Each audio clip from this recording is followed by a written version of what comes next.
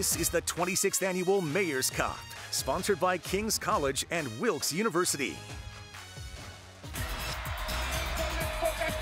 Welcome inside Schmidt Stadium. We're in Edwardsville, Luzerne County. Tonight, it's the 26th annual Mayor's Cup between King's College and Wilkes University. Good afternoon, everyone. The rain is gone. There's no jacket required, and both teams are ready to go for this annual rivalry game. Hi, everyone. I'm Bob Ide. Joined today by former assistant coach at Wilkes, at Kings, and former Tunkhannock area coach Jan Zijak. And Jan, uh, we take a look at the MAC standings right now. Perennial Power, Delaware Valley's in first, but Kings is right there. Wilkes is right there. They're talking bowl games for both schools. They really are. And I just want to start out by saying this is the closest rivalry in the United States, separated by one city block. There's so much online for both teams, and it starts with pride. Now it's going into the postseason in terms of bowl games. Wilkes is on the bubble. They have to hope that Lev loses to an 0-9 Albright to get into the playoff picture. Kings, on the other hand, is in the Centennial MAC Championship Bowl, but they're hoping for that at-large bid in the NCAAs. That'd be great. Let's talk about the Monarchs first. Jeff Knarr's been here for 13 years with eight wins right now, maybe nine today. That's the most in his tenure here with them. It's all led by Tyler Moore, the returning graduate quarterback. But the Tyler Carey is the leading receiver from Old Forge. We're going to talk about him as our spotlight player. Tyler Carey's averaging 22 yards on a carry. He's the number one receiver in the conference. He's also got seven touchdowns this year, and Bob, you alluded to the fact that he is an Old Forge Blue Devil, so we're really proud to see one of our local boys doing good. A rash of injuries that really hurt Wilkes, especially at the quarterback position. Um, they've lost two of their last three games, but one thing, one positive for them, the Cardinals going down the stretch has been that running game of Elijah Jules. Wow, Elijah Jules is only a junior, and he's the number one rusher in the conference. He's got over 800 yards this year. He's actually the number 21 running back in terms of scoring this year with 12 touchdowns. He's just a beast when he runs the ball. You watch a lot of film. We've talked to both coaches, so let's go for your keys to the game. First, for the visitors from Kings. For Kings, they, obviously they got to try to stop that big run game, and he also wants to make sure they don't commit any uh, uh, erroneous errors, and especially on offense to try to keep balanced. And for the Colonels? And for the Colonels, limit turnovers and really, really try to do a great job on their own takeovers. Jake Sarwar's on the sidelines from the Fox 56 News First at 10. We'll join him after the break. It's the 26th annual Mayor's Cup between King's College and Wilkes University. You're watching the 26th annual Mayor's Cup sponsored by King's College and Wilkes University.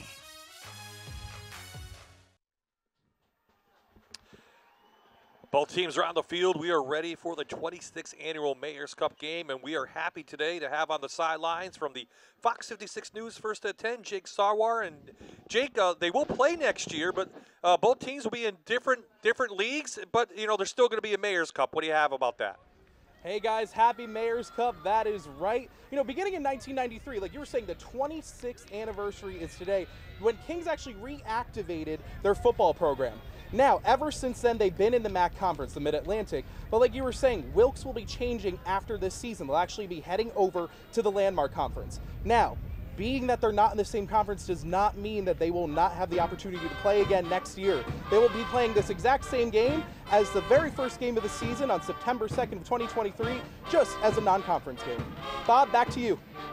Well, before we focus on 2023, Coach, why don't we focus on 2022? Kings won the toss. They deferred to the second half. Uh, we'll see this Wilkes offense come back out onto the field. Kyle Prskavich uh, is the kicker. He's a senior. He's been around for a few years.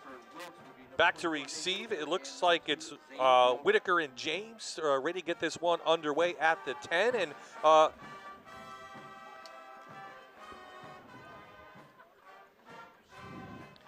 Kings won last year's game over at McCarthy Stadium. This is the 35th overall meeting between the two teams. Uh, Wilkes owns a 22-12 edge on that. Uh, in 2019 was the last time Wilkes won 24-14. What do we expect today? A bloodbath. It's going to be a slobber knocker with these two teams. Uh, they, they, they respect each other during the season, but this week They don't communicate. They don't. They really just want to get this game going. And there's so much on the line in terms of postseason right now. They've got to be sharp, and they're going to be playing tough. And we know Wilkes' running game is really, really good.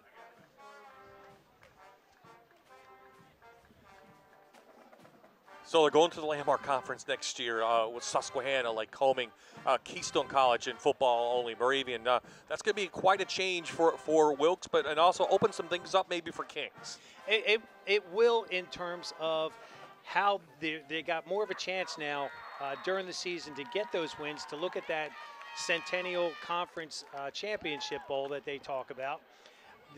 With the teams that they're playing. Here's the kickoff.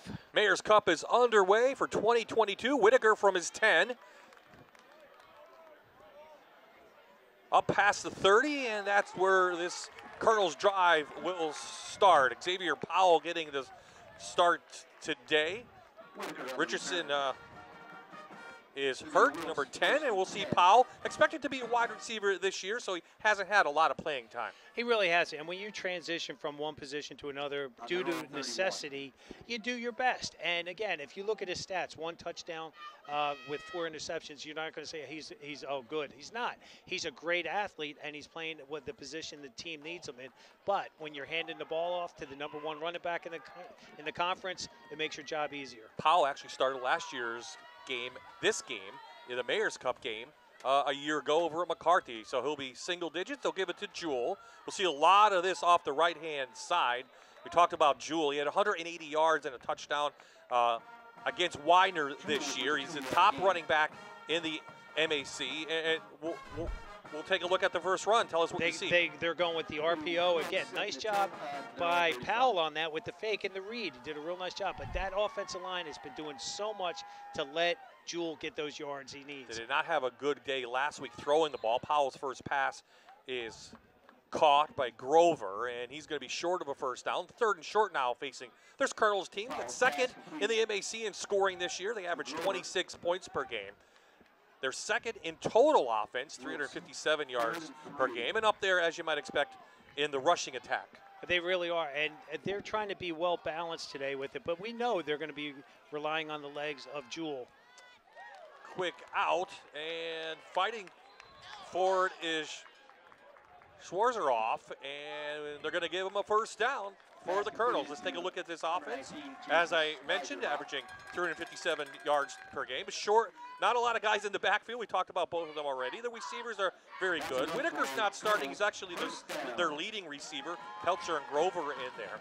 And the line is pretty big and some experience. Oh, they really are. They average 292 pounds across the board, and that's what they do. They allow, they move people, and they allow Elijah Jules to do that to try to gash the defense. Jules a gain of 11 up past midfield into Monarch territory. So a nice drive early on here from Wilkes. And you'll see that offensive line. Two, we got two guys from Mount Carmel, the center and the left tackle, doing a nice job in there. And you see how they're just moving that first line, reestablishing the line of scrimmage to allow Elijah Jules to pick and choose where he wants to run. Right side for Jules, pick up of uh, about three. He's shifty. Uh, not very, not very big, just five eight, and he's only a sophomore. And, and 170 pounds, so he's not a big bruising back, but he's got great vision. And you saw in that last play that he did a cutback. He started going left, cut back to his right to gain a, a nice three yards. Jules out of New Jersey. Stays in the backfield with Powell. Four man front for the Monarchs. Powell looking to the right, Quick Ooh. hit and nailed on the outside. Big hit put on, but a nice catch by Zane Grover out of East Stroudsburg for a gain of eight. Boy, Amir Gibson, he he dropped the hammer on him on that one. That was a nice job. He's got lots of time. Powell's got lots of time. Look at that, right in there, shoulder pad, right on shoulder pad. He made him pay for that. And that's what defensive backs have to do, especially with these receivers, where they know Wilkes isn't really predominantly a pass team.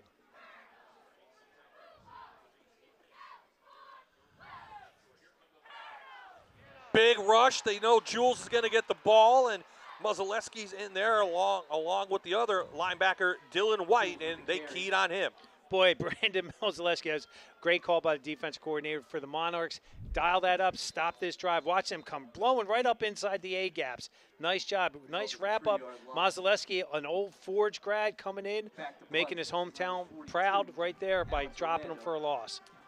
Dylan White also in there out of Carlisle. He came in with 52 ta- total tackles. He's a senior. He has 112 total tackles throughout his career. So the drive stalls, high kick.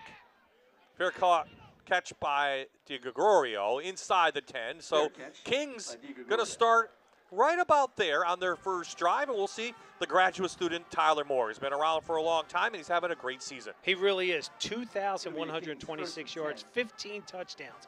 Now, we watched last week at Misericordia, he had one of his interceptions, and it wasn't him. The ball gets tipped, and he's had a few of those throughout the season, so he really does a nice job with them. And we know they're going to be doing a lot of passing. I'd be interested to see if uh, Wilkes' defensive coordinator is going to dial up a blitz here because they are at the uh, five, six-yard line.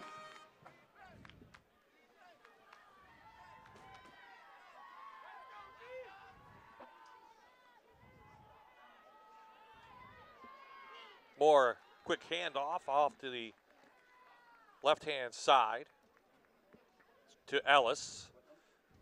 And he gains about five.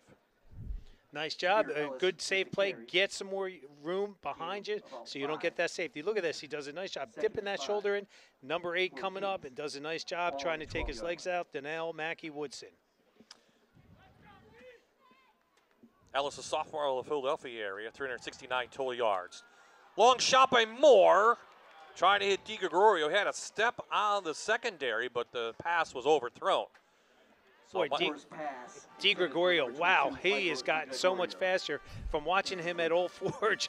Wow. And I keep mentioning Old Forge because there's a great connection here. Look at this. He had him beat by three steps, just overshot him. on their own 12. see if they go to that later on. So a big defensive stop here now by the home team will give the ball in real good field position. Moore, though, little screen pass set up, but quickly read by Steele Hess out of Whitehall. One yard gain, and Monarchs, here comes the punt team. I like the offensive call, but boy, Steele Hess does a great job sniffing this out. Look, he didn't get beat, and he's right there, wraps him up, and drops him right back at the line of scrimmage and forcing them to punt. 80, Anthony Prado back to punt. Prado back to punt right at his goal line. Over. And Higgins back to receive.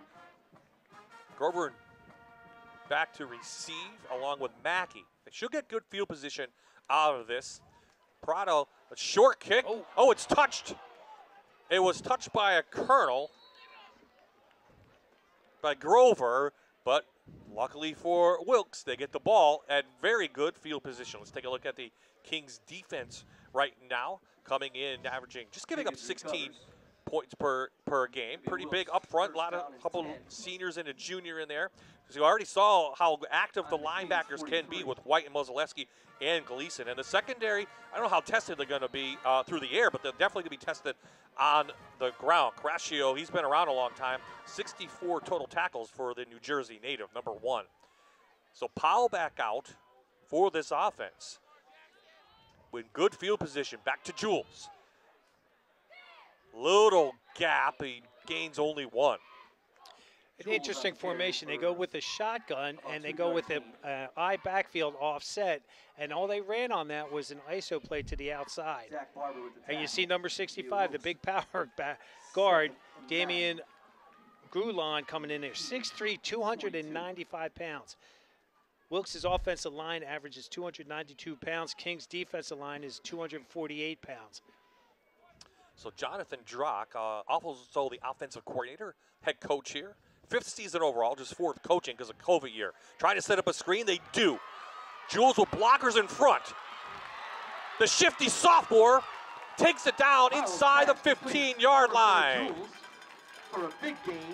26-yard gain, and Wilkes is on the doorstep. Wow, watch Jewel. This is a they set this screen up perfectly. Quarterback does a great job dropping back. Look at that burst that he has and speed. He's bobbing and weaving in between offensive linemen blocking for him and defenders trying to take him down.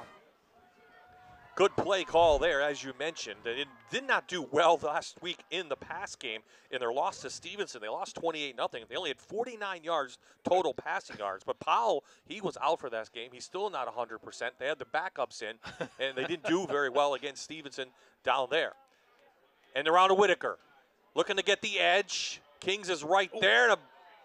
Another big hit. Mozaleski lays the wood on him. Just a yard gain on Nate Whitaker, five-nine senior on Upper Darby. You see they go with the speed sweep right on this, and look, watch right here what Zaleski does. He's he's pulling up too. He was like, and he's still with that big old body of his. I mean, he's a 200 pounder, but he looked like he was playing like 250 right there. No gain on that, so nice job by the Kings defense. Dean just couldn't pick up the block on the outside. Powell going to be back, has protection. Out. Jules was not expecting the ball. Mozaleski was there. Goes incomplete. Little communication breakdown. Uh, yeah, I don't think he was expecting that because he didn't even look back for the ball. And Bob, you had mentioned last week against Stevenson, they were down to their fourth quarterback. So they really had a lot of inexperience with that. Hence the reason why they only have 49 yards. Here's the screen. Look, he's not even looking. He's he's looking downfield. Oh, it was like one of those wow. Well, they say always have your head turned, right? Absolutely. Your eyes are on, your head's on a swivel just like your eyes. So a big third down here. Here comes the blitz off the outside. They pick it up to the end zone. And it is caught for a touchdown, Wilkes. Powell's pass to number eight, Higgins for a Colonel touchdown. Looks like Higgins in the end zone somehow got his feet down and made the catch for the Wilkes score. Watch this play. Lots of time. Great job by that offensive line to give give Powell time to throw. One, he, all we need is one foot down in, in college. We don't need two. He was in there, and he did get forced out, but he had the one foot down, drug it in there for the touchdown. 16-yard strike, and Wilkes gets on the board through the air.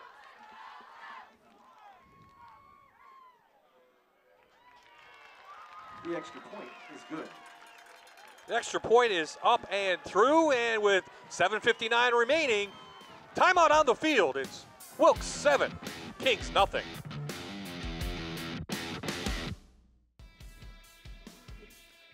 Nice crowd on hand. A beautiful afternoon for college football in November. 60 degrees. The rain has gone.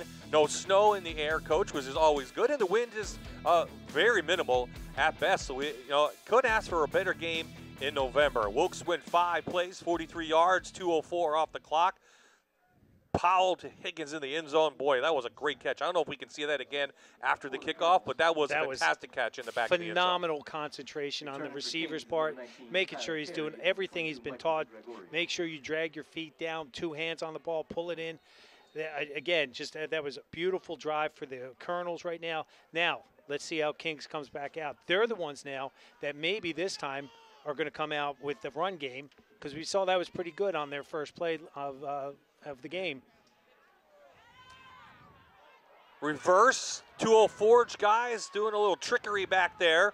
Carey pulls it up. He has a nice return to the 39. So DiGregorio to Carey. We've seen that before. Here's the replay of the touchdown again. Oh, of the sorry, that's the replay of the the return. Look at that. return when you have chemistry from playing four years together at high school and you bring it along to the college level now again coach Knarr's a smart guy. He knew that these guys had chemistry and let's let's work that chemistry and see what we can do. Well with 55 total passing yards they've already eclipsed last week's total for wilkes so that's a good sign for them. Let's see if the monarchs can answer. Carey over the middle DiGregorio Sheds a tackle, hit out of bounds, no flags, got a first down inside Colonel territory at the 48. So 12 yard gain. Nice job. The defense that time, they lined up in their 4-3. They dropped their right defensive end, number five, Adam Piston, into drop back the zone blitz. And again, he just couldn't keep up with DiGregorio going across the field. Make that a 15-yard gain, and Monarchs on the move trying to answer the Wilkes score. Inside to Haley. Big defensive stand. Take a look now as we can at the Monarchs offense, coming in averaging 23 points per game. Moore Haley and Cohen will uh, in the backfield as the H back. There's the wide receivers, two guys from Old Forge. Joe Herman, don't forget about Joe in there as well as Whitehall. And then up front, a couple seniors in there, coach. Uh, Liam Carroll's from Notre Dame Green Pond down in the Lehigh Valley. He is the left tackle today. He knows what it's like to run that spread offense at Green Pond. Boy, they always, year in and year out, put tremendous offensive numbers up. Good hole for Haley, and the first year player shoots through the gap. Nice gain. Moore to Haley again. Well, Haley, Haley coming in with three touchdowns, 432 total yards. He's out of Penwood. Well, here you'll see what Coach Nart wanted to do was make sure that he could. One of his keys to the game was try to be balanced on offense, and they're getting some nice runs from their backs this year uh, in this game. It's just nice to see that they're being that well balanced, trying to establish a run game because they know they have a very effective pass game. Good protection. Here comes the rush, though. They get him. Took him too long to find somebody, and it's a sack that looks like the ball might be out. Flag late, well after the play, so definitely some jarring down there. Adam Piston's at the bottom. Let's here we go. See, he gets, look at that. He's rapping again. Who else? It was number four was in there. Angel Ramos out of Parkland. That defensive line, I'll tell you what, one thing they've done is that I'm watching how active their hands and feet are in here. So it's the Parkland pair out there. Ramos and Piston get him. Flag came out late. Definitely some words exchanged as they fought for the ball. It will remain King's ball, let's see what the referee today has to say. It's we talked about at the beginning of the game, Bob. This is where the emotions really have to stay in check because there's a lot of jawing going on, and you've got to keep cool and calm. Again, this is a big game for both teams, and there's a lot of time left to go. David Stewart, our referee today.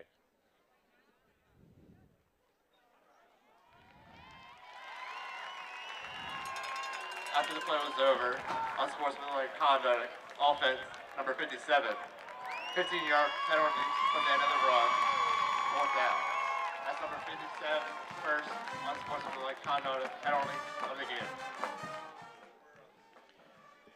So Kings retains possession, and it brings up, I think, a fourth down. No, yeah, because that's after the play. So it's the play counts.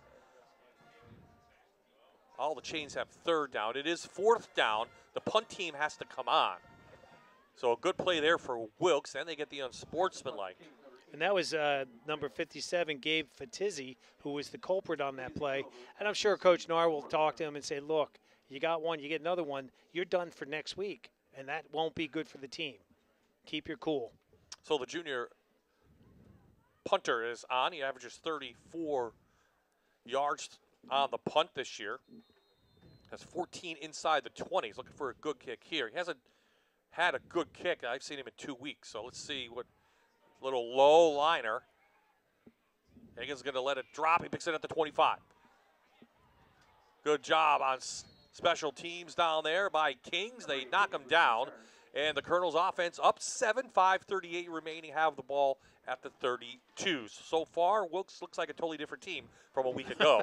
I mean, seriously. Well, when you have a quarterback, you know, one of your, your starting quarterback back, it makes a world of difference. And we saw that with their pass game. So they just couldn't key up on Jewell that whole game like Stevenson did last week.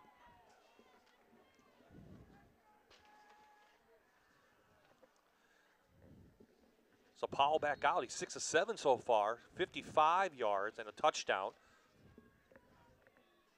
So even if he's 75%, looks like a better offense already. Plenty of protection. Doesn't want to run.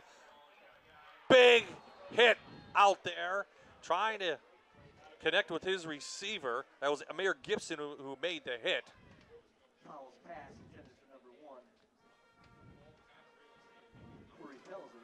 Nice job on the breakup here. Look at this pass. One with the two with the three. He had almost four seconds to throw that ball, and that was a perfectly placed ball. But wow, does Gibson come in and just break that up? He's only 5'6", 170 pounds, and he's from District 11, Whitehall High School.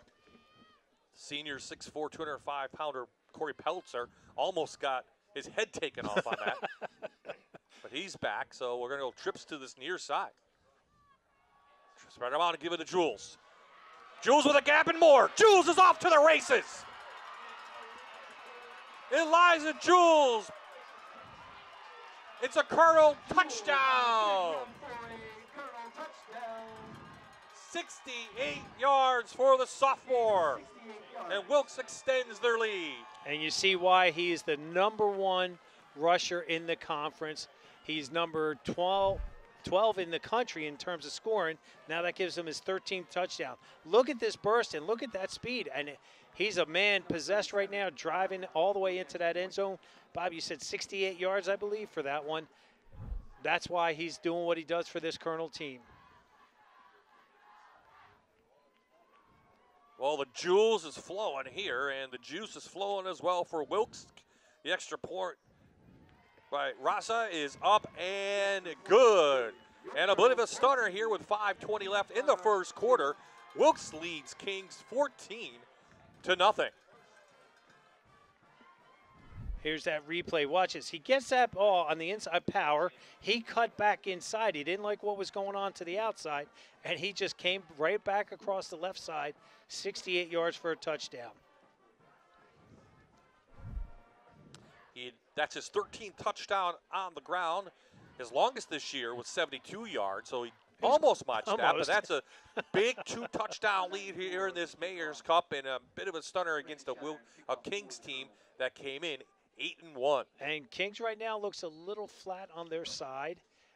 Um, I, I, think they might be in shock. Again, they knew how good Jewel was, and again that passing situations that they went through on that second series, I think may have put them back, and they're starting to like scramble a little bit. So we'll have to wait and see what happens.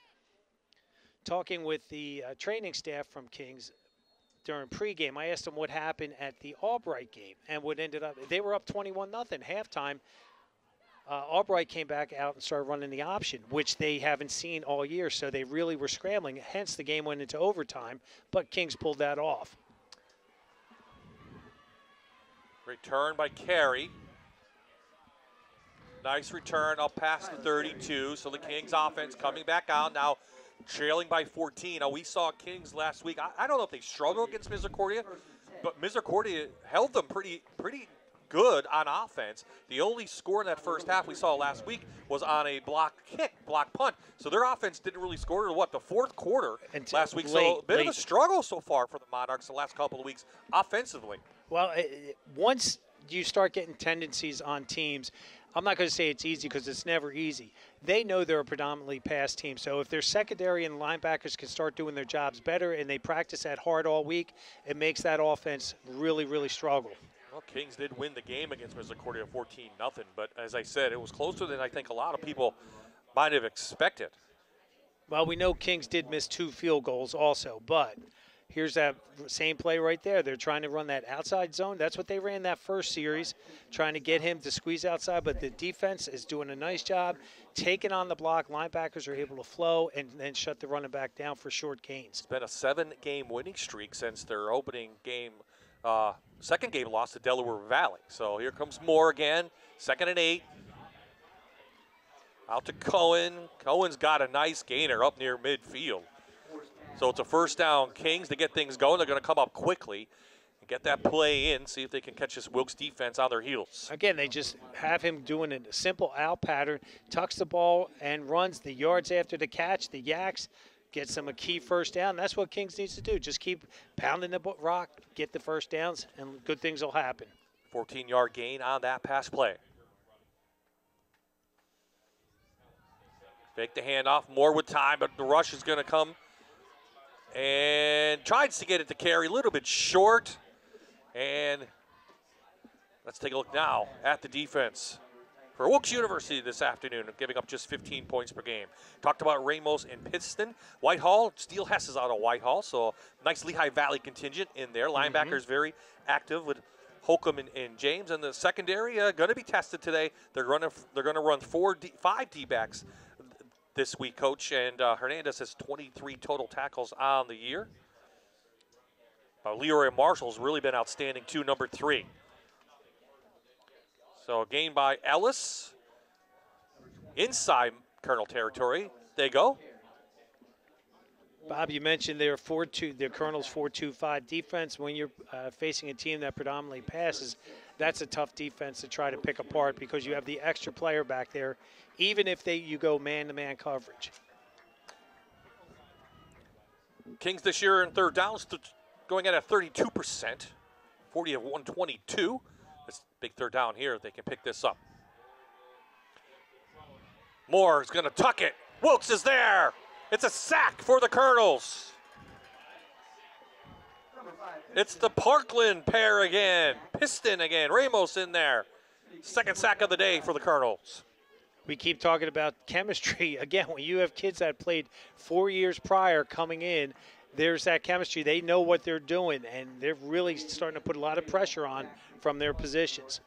You'll see right here, they just did a, uh, what we call a knee stunt, the nose in the end. They switch, they come in, and they do a nice job, and that confuses the offensive line.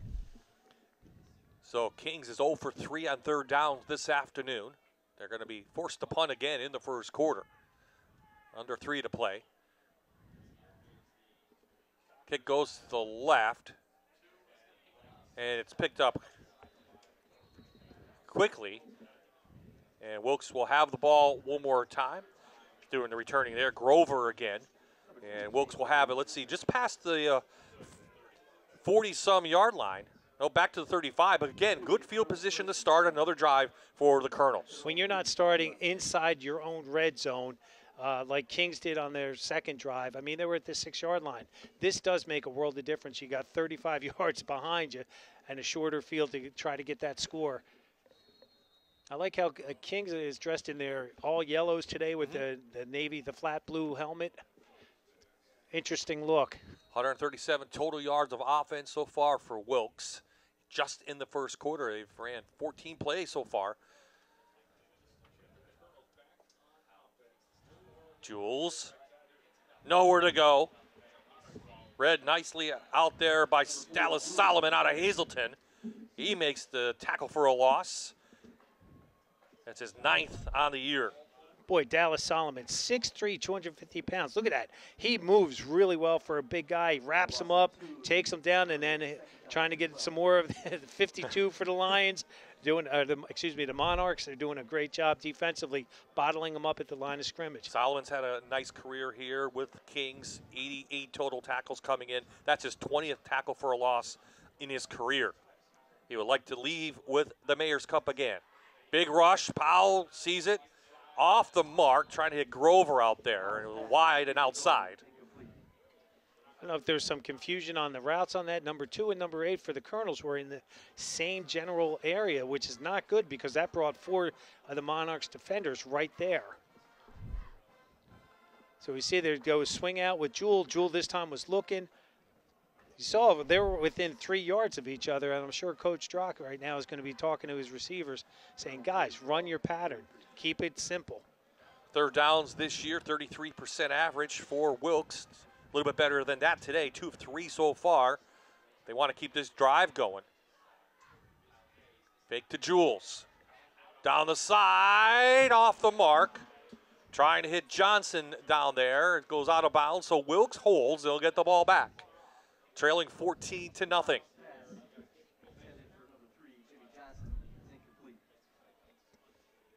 The fake in there. I'd love to see Jules. I'm not telling he's a great running back, but boy, if he sells that a little bit better, they really start flowing with him. See DiGregorio back to receive this punt. Orlando. Nice high wow. kick. Really high. DiGregorio comes up, makes the fair catch at the 27. So here comes King struggling on offense so far, coach, uh, in today's game. Total plays 12, total yards just 40. Wow. And, that's not the way Coach Knarr wanted. Again, it is a road trip. This is, and again, a road trip. We're talking about three miles uh, from their stadium, so it's just a matter. Get these guys. They got to wake up and they got to start playing the, their brand of football. 28 total seniors on this Kings team, 13 starters. They were picked eighth in the MAC to finish. They're going to probably finish first or second, most likely second. Second, right? I would imagine. That's yeah. a great season. I, oh, it's absolutely wonderful, especially when they, they were counted really out, down and out, and they just wanted to prove to everybody how good they can be. Well, they need to get things going here on offense. They're going to hand it off to Ellis. He has room. Flag comes in late.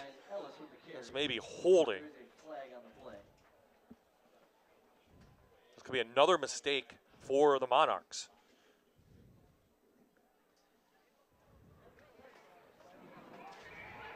Holding. Offense. Number 60. 10 yard penalty. First out. They're making mistakes, have, our Kings, and it's hurting them. It's really it's it's been so detrimental. Every time they have a great play going, it gets called back. And the culprit on that was number 60, Zachary Taryn Wimmer out of Liberty High School. We're seeing a lot of District 11 kids being represented by the Monarchs, and that's where Coach Knarr was actually from, down that region. Steps them back. Still first down, though. Moore. The rush comes, and the rush takes them down. Their ball's out. Wilkes has it.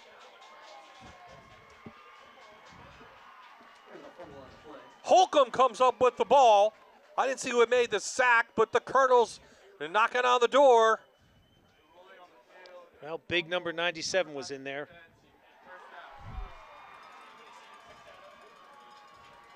They're doing a lot of twisting and turning up front with the defensive line, but you got to credit the secondary of the Colonels right there.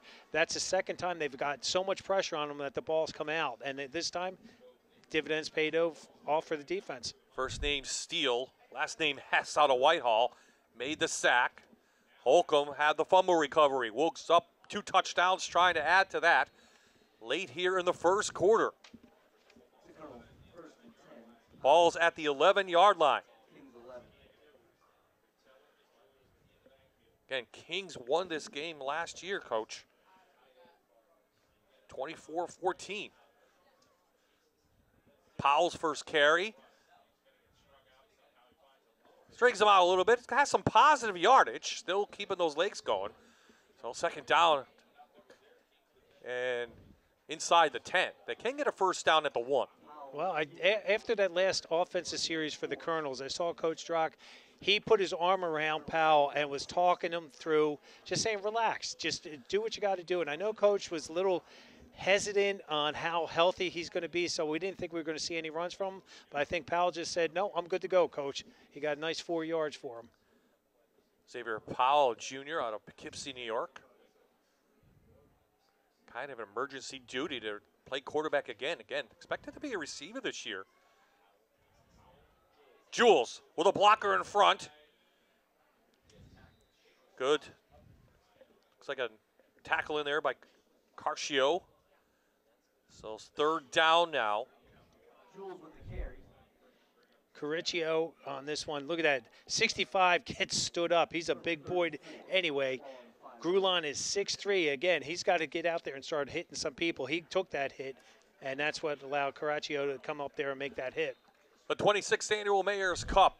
First quarter's in the books. It's been all Colonels here at home. Can they pick up a win for the first time since 2019? They're well on their way. Quarter number two on the other side.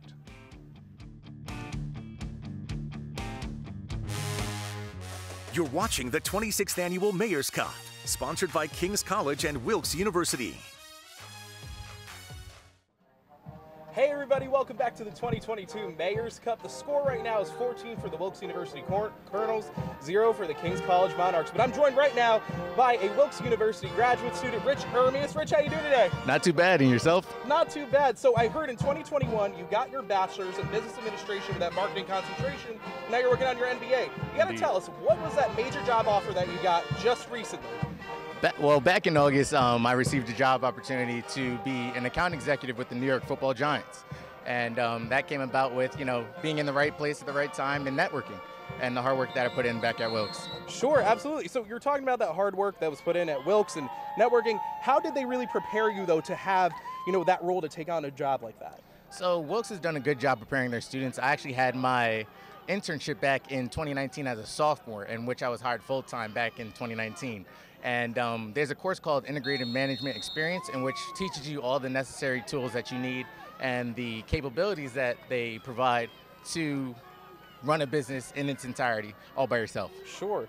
Now, I heard too that you've already started this job. Tell me, what is the most interesting thing so far about working for the New York Giants organization? The most interesting thing is going into work every day. I, you know, I have the luxury of going into the office and being able to eat with the guys. Um, one of the most I would say, interesting and fun things. I had the chance of talking with Daniel Jones wow. and Dexter Lawrence, who are two of the team's captains, which was a great experience. Yeah.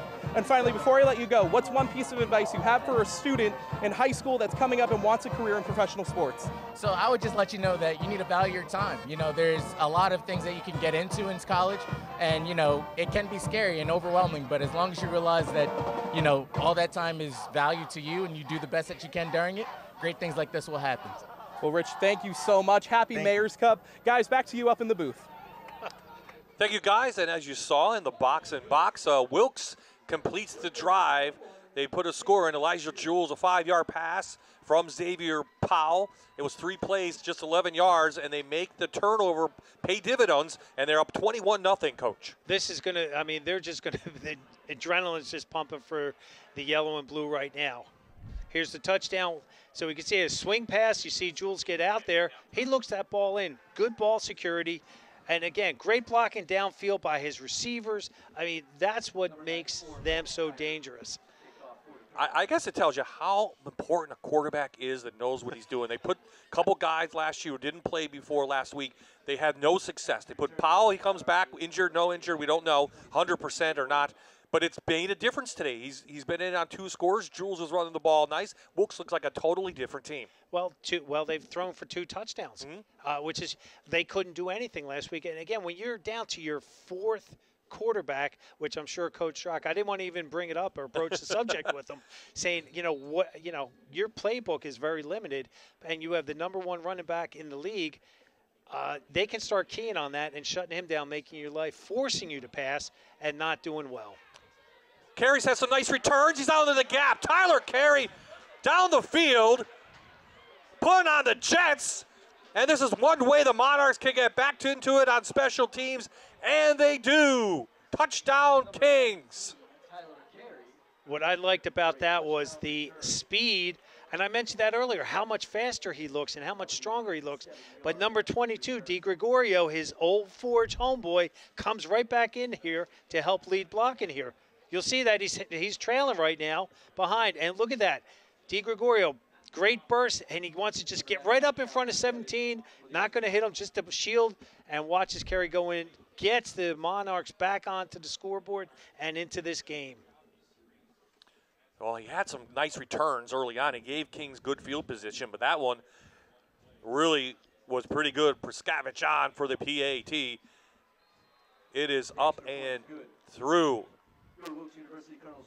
That's the shot of adrenaline. We talked about that with Kings. That's the shot that the Monarchs needed to get them back into this game. The 87 yard touchdown. It's pretty good. Let's go down back to Jake on the sidelines. And Jake, some more about the Monarchs. Yeah, absolutely, guys. That's right. Kings College has a special program called Single Digit Tough, which is when they certain members on their football team a single number digit so that that's based off of their merit, it's based off leadership skills, and they get to keep it throughout their entire time on the Kings football team. Those numbers this year are 0, 1, 3, 8, and 9. All five of those members, again, will keep that for as long as they're on the football team. Back to you guys up in the studio. There you see a couple there that have uh, played very well in their careers with the Monarchs. Uh, you see uh, Mozaleski in there. Mm-hmm. I mean, we mm-hmm. remember him playing at Old Forge. His, his dad, we saw him this year at Old Forge. He's the athletic director. I mean, overall, 162 total tackles for Brendan Mozaleski, 19 and a half tackles for a loss, six sacks and interceptions.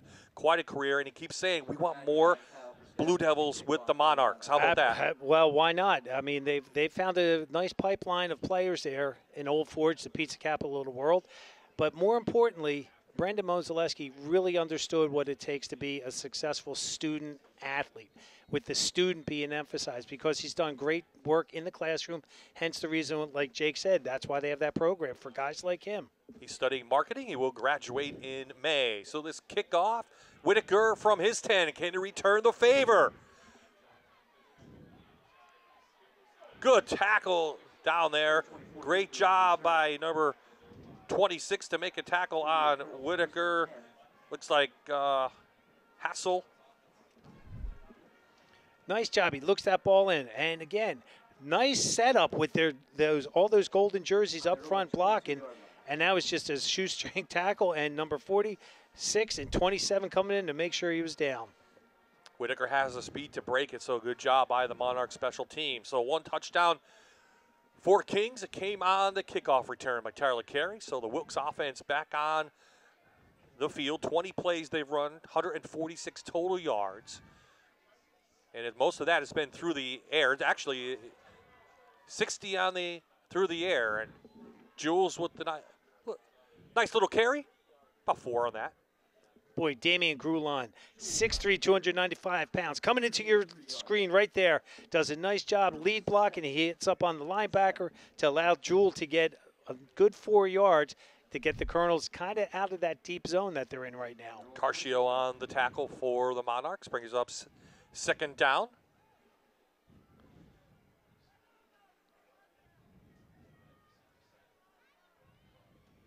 For Powell.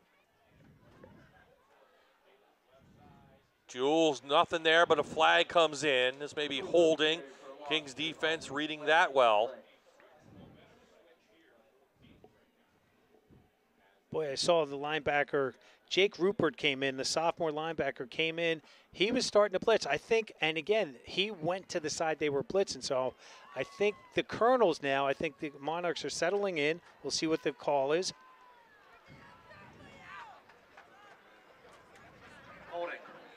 offense, number 70. 10 yard penalty, second down. You see 33 right in your screen there. He's, he's scraping across right in there, and he ends up coming up and getting involved in that tackle. Nice job. What I started to say was the Monarchs, I think, are settled down now. They're they're starting to do their keys and their reads, and they're going to start making life difficult now for the Colonels. Second and 16 now from the 16. Powell back. Has room if he wants to run. He's hit from behind on the throw, and he finds Jules. Jules got behind the secondary inside Monarch territory. And it's a 34 yard pass play. Great job by Powell. He barely got that off. He really did. Look at this. They do a stunt in there. They're getting pressure. He's getting wrapped, does a nice ball, and Jules is right there, and he comes up limber. I'm trying to. Yep, Mozaleski got behind Mozaleski and Carcio, who we've talked about. You see Jules maybe came down a little bit on that knee. Going to take a seat and a breather. We'll check on him a little bit later on. So Monarchs giving up a big play. Colonels inside Kings territory one more time. And we have a timeout on the field, 12:51. Coach Drach trying to call it. Uh, Jonathan Drach, of course, the ninth coach in Wilkes history, is 20 and 11 overall. Everyone in the MAC missed the 2020 season. Mm-hmm. So he's just four years. You know, last year they started 5 and 0. They didn't end the way they wanted to end. This year they started 5 and 1. They've lost two of the last three. But they want to get some momentum going into this, and it, I think it's going to start with the quarterback Powell playing well in backup. And on your replay here now, Mozaleski is a linebacker trying to keep up with a running back that came flying out of the backfield. Had him beat, but he did a nice job recovering. And again, Jules just landed on that knee, and he's on the sideline. He's up and walking right now, which is a good sign for him. And the, these trainers are going to make sure that he's 100% before he can go back in. Isaiah Rodriguez was the starting quarterback, a sophomore. He's 6'6". He was probably the best quarterback in the MAC in the first three, four games. Then he got hurt. Then they went to Powell. He got hurt last week. We said they came to the third and fourth string. For you know that didn't work out as well. Powell comes back in, but Rodriguez, he's the future. We saw him before the game. He, he's, he's, a, a specimen. He's big, big kid. Wow, and uh, he's strong. That's what Coach Drach was saying. How strong he is, and the numbers that kid can put up. So after the timeout, quick out to the right inside, Whitaker, the senior, puts a stiff arm on. He wants to take home the Mayor's Cup on his last game, and they're going to move the chains. That was number 24 on 24, Tian Sherrod trying to defend him from Pennsbury High School, District 1 down there in Bucks County. He just said, get off of me. and he's, look at it, he's, he's just like. Again, a senior. Uh, on his career, he had coming into the day, not adding that catch in, 71 catches, 1,296 total yards, and 13 touchdowns for Nate Whitaker out of Upper Darby. Playing his last game in a Wilkes uniform here at home, anyway. Lest they make a bowl game next week. Jules back in. Ooh. Big hit in there from the secondary. Jules bounces back up, gain of eight. Corey Peltzer came in. Wow. But it's good to see Jules back in there. He wasn't running like he was hurt. He was getting right back into it. Let's see. They go with that power. 77's pulling for you. Number seven. Watch that hit right there. He just laid the wood on that one. Mauro Garano, 6'2", 310 pounds, sophomore. Wow, they've got some big young kids in there. And with the strength training for the next two or three years, there are going to be some studs out there. Powell out quick again, trying to get Grover out there. That goes incomplete. Powell, I think he was hit a little bit late. No flag on the play. Gleason on the blitz was in there, number 31 out of Virginia. Here we go. The defensive line now is getting stuffed at the offensive line, which is good in terms for the Colonels now. They're stopping that defensive pressure coming in. Powell, that one just misread, mistimed it. So another third down for Wilkes. They've been very good this afternoon, three of five.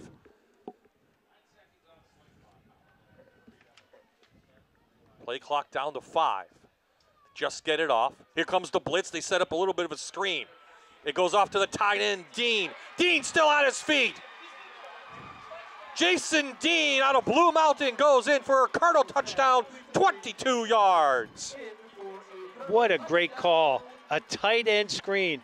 They do a great job with the fake in the backfield. Quarterback drops. There's pressure in his face, and they just uh, tuck that ball in. Gronk style there. Well, more like Dallas Goedert, I'd say, being an Eagles fan. First touchdown of the year. It's his longest this year as well. His eighth catch overall for the Blue Mountain product, his first year. Raza in for the extra point again. Boy, this Wilkes offense is rolling this afternoon when they have the ball. PAT is up and through. Kings score, but Wilkes matches it. It remains a 21 point lead for Wilkes in the 26th annual Mayor's Cup.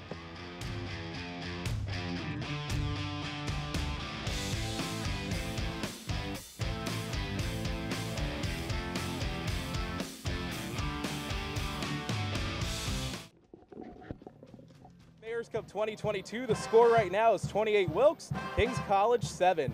And I'm joined now by Cheryl Ish, the Associate Vice President for Intercollegiate Athletics and Recreation at Kings College. Cheryl, how you doing today? Great, great to be here, Jake. How does it feel to be back at Mayor's Cup? Oh, what what the excitement! I mean, it's it's great. Our two schools right down the road from each other. It's just a wonderful environment. Absolutely. So I heard recently you guys just finished your third annual Monarch Mayhem event. Talk to us a little bit about that and how it helps raise money for the sports teams. Great. Yes, uh, Monarch Mayhem, third one we just had this past week. It's part of our Monarch Athletic Fund, and it's a 24-hour crowdfunding event where our teams go out and they, they reach out to their alums, their family, their friends in order to solicit uh, funds they need. Um, what's wonderful about it is it, it adds to our student athlete experience. We have teams like our women's basketball team raising funds to go to Florida. Um, our women's hockey team is trying to raise funds to add a shooting room and for so they can practice on campus. And it just it's it's, it's great. Um, we, it was very successful. We raised almost $60,000 in wow. 24 hours. Um, our teams were really creative in how they were engaging with their um, alums and families, and we're just really grateful for the support. Absolutely. And again, like you're saying, what a great way to really reconnect with your alums and really also give that leadership skill to students to have the ability to go out and ask for things like that. You've been in student affairs for quite some time. You know, we're coming off of two years of COVID. Talk to me a little bit about the importance of students at any college really getting out and experiencing opportunities that are on campus. Sure, it's so important. It's important for our students to feel connected to their other classmates and to the campus. And I think that's something that we can be really proud at at Kings that are, are we provide so many opportunities. We have over 500 student athletes, but in addition to that, we have students who are involved in residence life, student government, um, the, the radio, our Cheval Center does a wonderful job with connecting students with community service and service learning. Um, so it's just, it's a, it adds a great layer and, of experience, and it's something that we can be really proud of. Awesome. Well, Cheryl, thank you so much. Happy Mayor's Cup. Guys, back to you, back up in the booth. the question is, can anyone stop Tyler Carey on the kickoff. 93 yards for the Old Forge product. There are only two touchdowns for Kings today. They both come from number 19. Yeah, their offensive stats are really going to be low because when you get a kickoff return like that, two of them though. So now, right now, here it is. Watch this.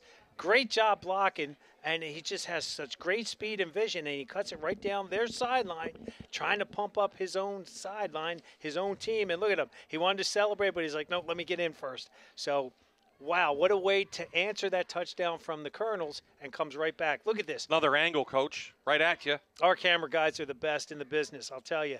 They give you everything. Look, he's going to look back, try to get one number. Oh, he oh, said uh, number two. He was pointing saying he's got his second number of two. the day. Well, Jonathan Drach, I can tell you on this sideline, Wilkes was not happy. He's looking at the special teams coach. There's going to be some adjustments made. You can't let that happen. Twice on No. two straight kickoffs, number 19 just takes it the distance to the house. You you and I remember him being that fast.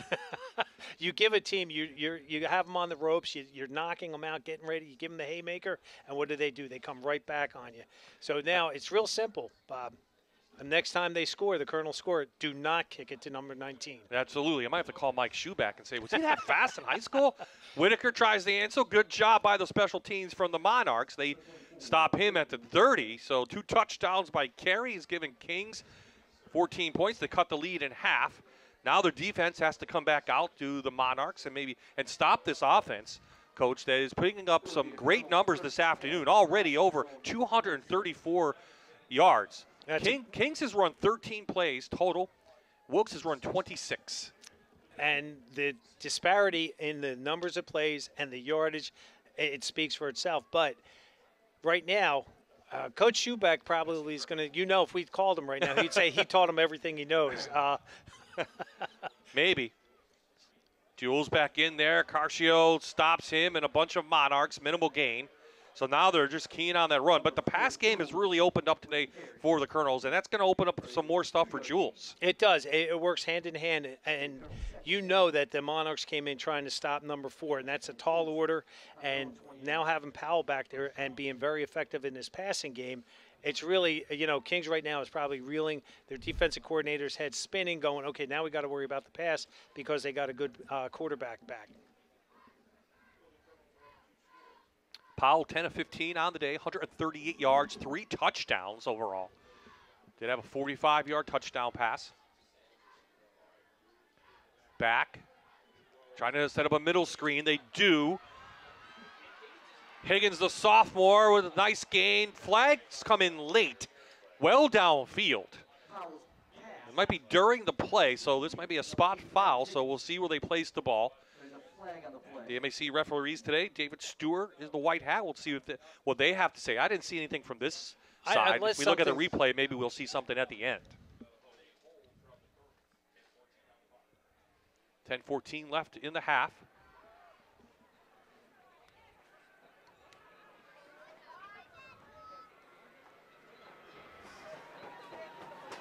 Holding. Offense, number 24. 10-yard penalty from the spot of the foul. Second down. So spot foul, Whitaker got called for holding.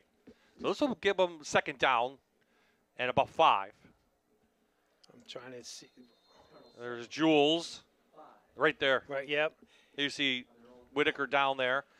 He had he grabbed his jersey and then he let up with the hands up. I yeah, didn't do it. The other 24 Sherrod Yeah. saying, Th- I got those- held, I got held, right? They always those, do that. Those two 24s been battling all day. They have Powell back, has Jules in the flat, decides to pull it down. Nope.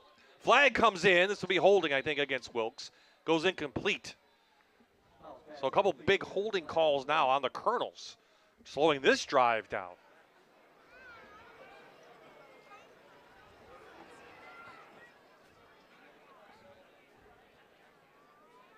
Third penalty down the day for the Colonels. Holding. Offense. Number 77. 10 yard penalty. Second down. This is what Kings wants, trailing by 14.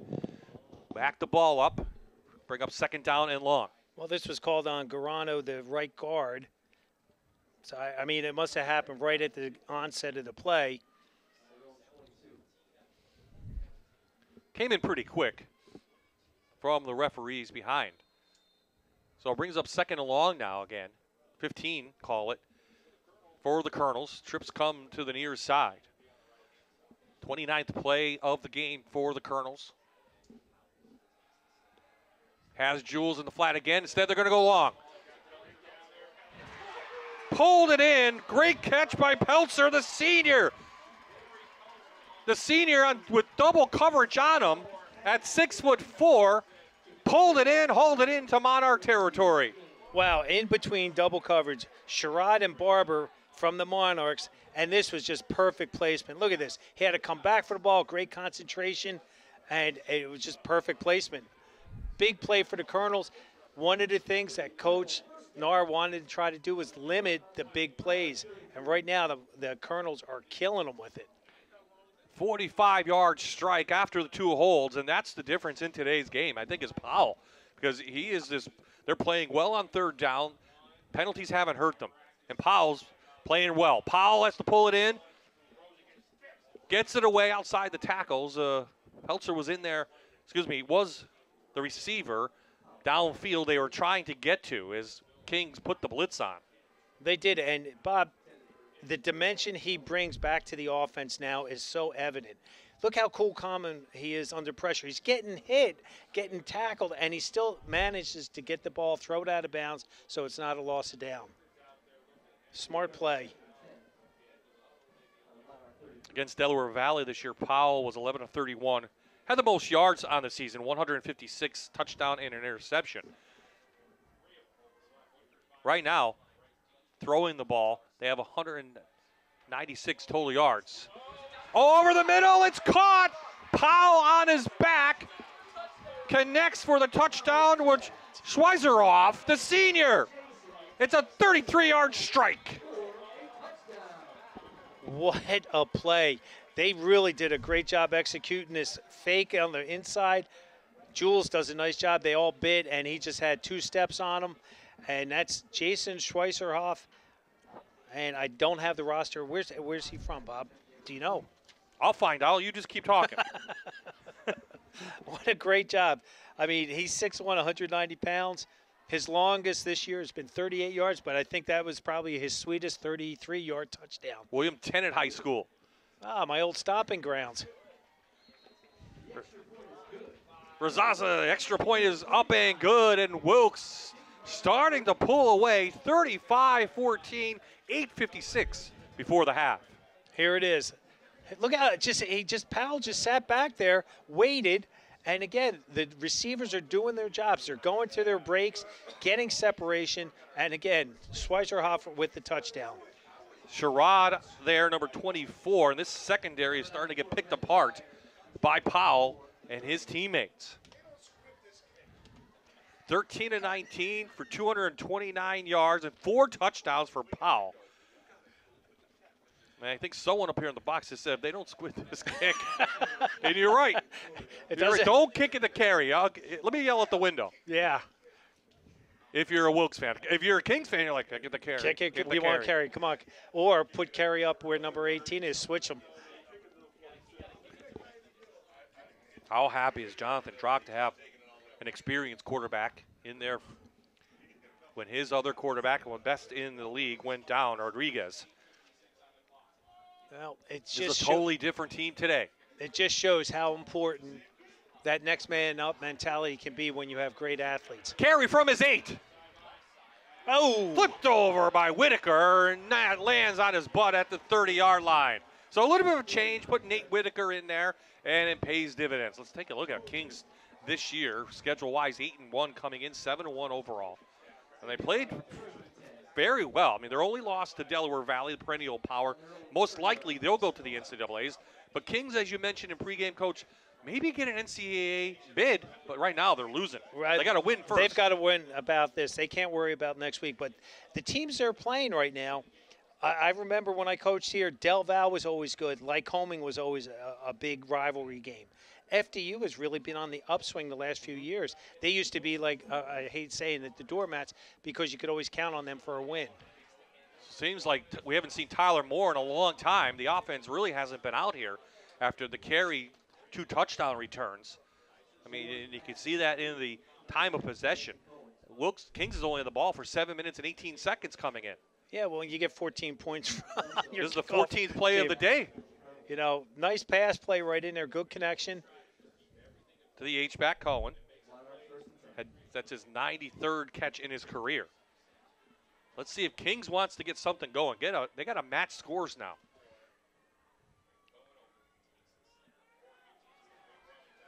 Big run in the middle. Ooh, Ellis puts his head down, rolls over somebody, and they move the chains inside Colonel territory. Boy, yards after impact, I'm calling this one. Watch this. he puts his shoulder out, boom, and then he goes on for another three yards. Jesse Adesso took the brunt of that. He laid on the ground for about 10, 5 seconds. Like, okay, what just What- happened? what- yeah. Where'd that Mack truck come from? I mean, Ellis is 5'10", 250, just a sophomore. He's a big boy and he can run quick. Look at him out of the backfield. Ramos almost got to him, and Carey catches it. Minimal gain. Nice job by Ramos. So, excuse me, Hess, nice job. Ramos almost got the quarterback. They run that slip screen inside, and he slipped right into uh, Steel, ha- Steele Hess Rice's grasp right there. I'm sure Carey's going, uh, Coach, can we run that a little bit wider? I mean, what a great name for a defensive tackle, Uh, right? Steele Hess. Steele Hess. Steel. Here comes the corner blitz, trying to get to Moore. They don't, but no one's down there. Carey in the wrong place. Moore threw it towards the outside. Carey's more on the inside, but Wilkes brought the pressure. They did. Number five, Adam Piston coming in, the Parkland product, the senior. And Bob, his last game, he's really done a tremendous job for that defensive line for the Colonels. Nice edge rush coming off of him. So they'll get the play from the sidelines. Jeff Knarr, uh, it's going to be quite a speech at halftime. Giving up 35 points at least so far in this first quarter. Hard count by Moore. You can see everyone standing on the Wilkes. They want to come after the quarterback. It's a quick in, and it's dropped. He had it. It was in his hands. I think that was Herman. And it's going to be fourth down. Jeff Knarr, what are you going to do? He's going to go for it. But they, what they were doing, the Colonels on that, uh, I used to call that a chaos defense because the offensive line doesn't know what's going on. It's chaos. And those kids, you could see they were stepping up, trying to get them to jump, and then they're going different gaps. So it makes it really difficult for the O line. So here we go, fourth King- and eight. Kings on the season, 50%, 8 of 16 on fourth down. Their first fourth down on the day. They don't want to get b- the ball back to this powerful Colonels offense today. Moore back. He has time, still waiting. Flushed. In the hands, he's taken down again by Angel Ramos. Drop for a loss, a one yard loss on that.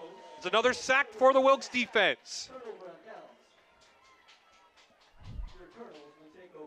They were playing a cover two, and I like what they the Colonels were doing. They went with their safeties in the back, playing that cover two. They went two on, three on two with their coverages, a diamond formation. Fourth sack on the day for the Colonels defense. They stop Kings on fourth down. They have the ball. Seven minutes still remaining in this half, and Wilkes can really blow this one out. They get a touchdown. I mean, I don't want to say that it will be over, but I'll tell you what, when your offense isn't producing, the only points you get are from special teams. There's only going to be so many times that opportunity is going to present itself. Yeah, this hi- this offense is rolling at a high caliber this afternoon. Jules, just a yard gain. Time now for the Monarchs defense to step up. Well, they've been on the field a long time. They're going to start getting gassed in a little bit. Good thing halftime's coming up. Dallas Solomon, 6'3", 250 pounder from the Hazleton area, in his last game for the Monarchs, possibly. Right now, he's doing a nice job up there. His, his hands and his feet, active pursuit, and he's just a big guy to try to block. Wilkes came, coming in was second in the MAC in total offense with they averaged 357 per game. Coach, already in the first half, they have 328 total yards. That's They tell me they don't want yeah. the ball back. They want this trophy back. Blitz comes in. Kings wants to get Powell. Houdini's there today. He gets out of the grasp and he can't make the play. Flags come in. But how about Xavier Powell? He was surrounded by white jerseys. and he just eluded them somehow, some way. Let's see a great camera work. He goes to his right, goes to his left. Number eight, we talked about Solomon right there. Gets out of his grasp, and again, he just makes something happen. He's coming into, he sees the linebacker coming in his face, still throws the ball away. Holding. Offense. Number 65. 10 yard penalty. Second down.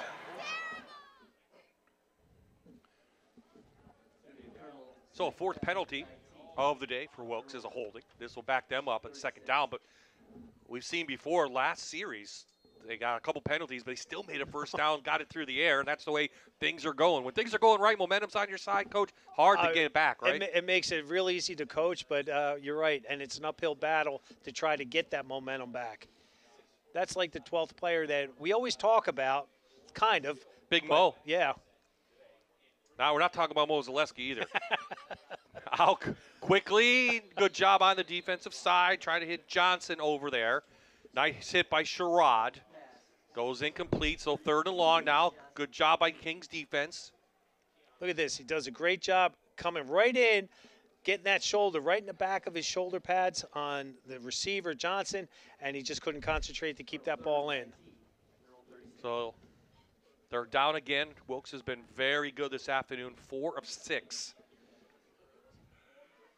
And they came in averaging 33% on third down, but they're well above that this afternoon on a beautiful afternoon for football. Powell, quick out to Jules. He's got room. White jerseys surround him. He's going to be well short of the first down. Sherrod in there making the tackle along with Gleason. And the punt team coming on for the Colonels. Well, that was a key swing pass right here. He just looks and look. Jules is looking in. He leads them perfectly. And when you get this young man out in open space like that, he is so dangerous. But the Monarchs secondary and linebacker core, nice job wrapping him up, making sure that he doesn't get anywhere near that first down. Orlando in there to punt. Third punt of the afternoon, 38 yard average. DiGregorio back at his 20. What Kings- school did he go to? 04. Oh, Kings almost got it. High kick to Gregorio. Fumbles it. Went through his hands, and Wilkes is there. Number 16 on the recovery for the Colonels. Dominguez, eh, yep, Dominguez, Anthony Dominguez out of Binghamton, New York. Johnny on the spot. Uh, you just see, we talk about technique as coaches. Boy, they made him pay for it anyway with a tough hit in there. His elbows were out. You always tell them, keep your elbows in, look that ball in. But when you have three guys coming right at you, And if you think, I think if we if we look at it again, you're going to see his eyes come down. And it- you got your coaches talk about that all the time, right? He took his eye off the ball. Four jerseys coming at him, and he the ball went through it. So big, big play for Kings. They lose the ball. Wilkes back on. This offense already with 35 points up. Jules with a blocker. Big number 65, Grulin, the sophomore, 295 pounds, leading the way. what's scary is for the Colonels, everybody, is that they've got four underclassmen on that big offensive line. They've got a sophomore running back that's number one in the league, and they're just showing how dominant they are right now with their run game. You know who's watching this? Who's- Susquehanna. Oh, yeah. Yeah. Susquehanna, Keystone. Lycoming, Moravian. Colonels are coming into the landmark. That's going to be quite quite a conference. Susquehanna maybe going to the NCAA's out of out of their league. Out of the Centennial. Kings there on defense. That was James Hunter, number 97 from Pen Argyl, coming up there, 6'2", 220 pound. Made that first hit on Jules, right there, and he makes him bounce it outside. And then again, he had nowhere to run. Great pursuit defense by the Monarchs. Hey, this is where Wilkes wants them. Third down. I mean, they're killing it on third down today, Coach. Four of seven. I mean, Four you'll take that. Four of seven and what? Two touchdowns, I believe. Yeah, a couple touchdowns on third down. Yep. Most teams struggle on third down, just trying to get a first, and the and the Colonels have gotten two touchdowns. Powell all day shoots it in and out of the hands of his intended receiver Peltzer, but he took a big hit by Carcio in there in the end zone. Good time in here to throw the ball. He's scanning, going through his checks. Boy, he led him right, but look at that hit by number one. Number one on number one. Carcio. We've called his name a lot out of New Jersey. Puts the big hit on him, and we'll attempt the. We're going to attempt a field goal now. From the 20, it'll be a 30 yard field goal. Looks like Razaza, the first year kicker.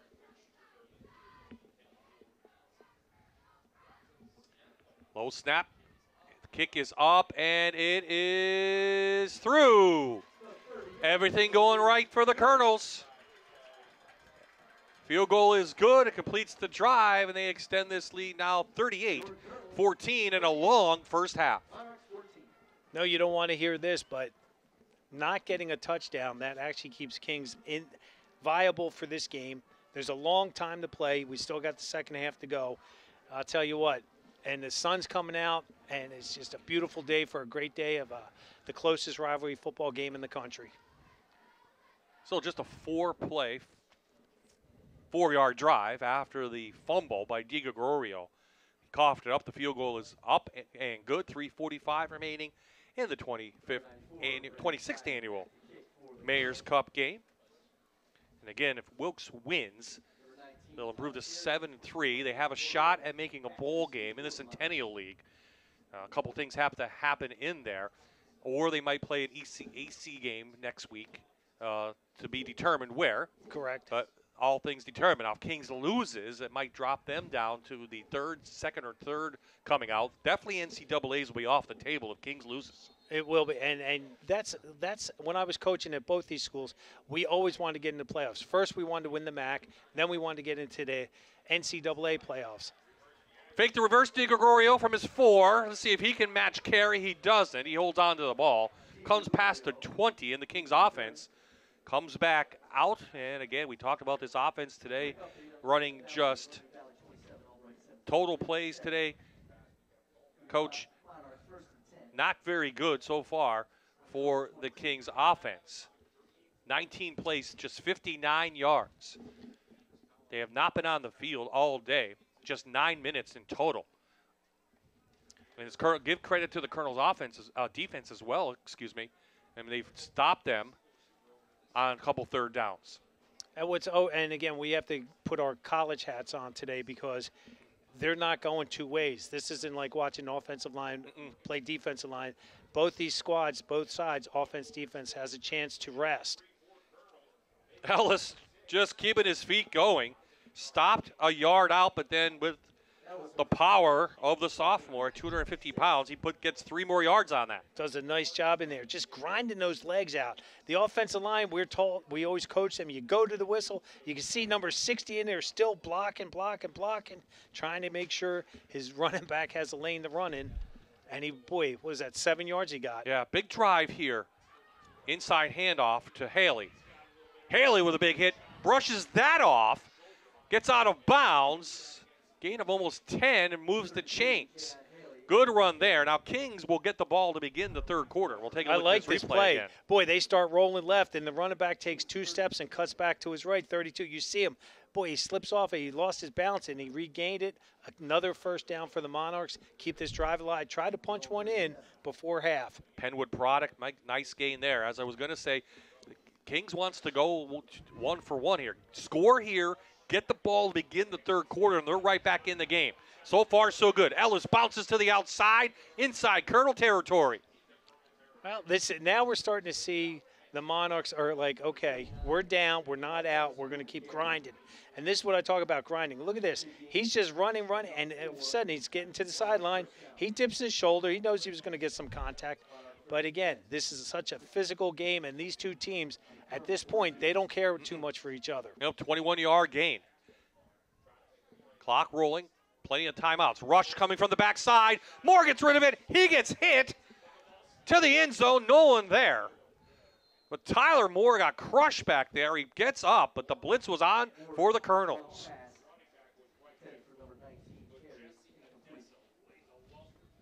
No flags down. You're going to see number one coming in off the edge. He came from his defensive back position on that backside blitz, and actually he bumped into his own man as opposed to the quarterback. Yeah. It was the sandwich could have been really fatal, but he avoided that hit, big time hit. So Moore back up. Clock is stopped. 205 remaining. Three timeouts left for the Monarchs. They've been in Colonel territory a couple times today, but have not been able to score on offense. Four man rush. Quick hitter on the inside. Good catch by Joe Herman out of Whitehall. It's another first down.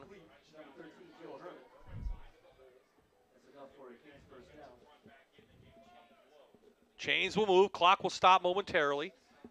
King's going to get the play.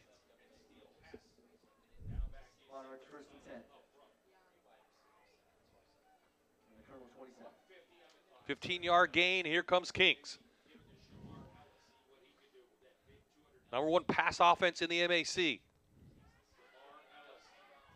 Ellis breaks a couple of tackles. Good, powerful run. Clock will keep rolling. He's about the 20 yard line, 21. 90 seconds left in the half. He picks up six yards on that, and that's he's just such a tough runner. I love the way his style is. Kings got to get moving, though. I know they have three timeouts. You don't want to use them yet, right? I, you know, why not? I mean, a minute and 20, it's to your advantage. Use it, settle your guys down, and just, you know, make sure you got the right play dialed up. From the 21. They're throwing a blitz at him. Over the middle, it's caught by Carey off the ground. They're going to say it's complete. They do.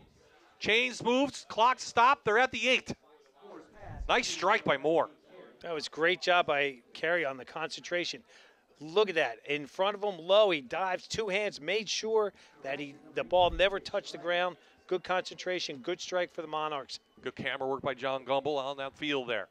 So knocking on the door, first and goal for Kings. Again, they get the ball to begin the second half.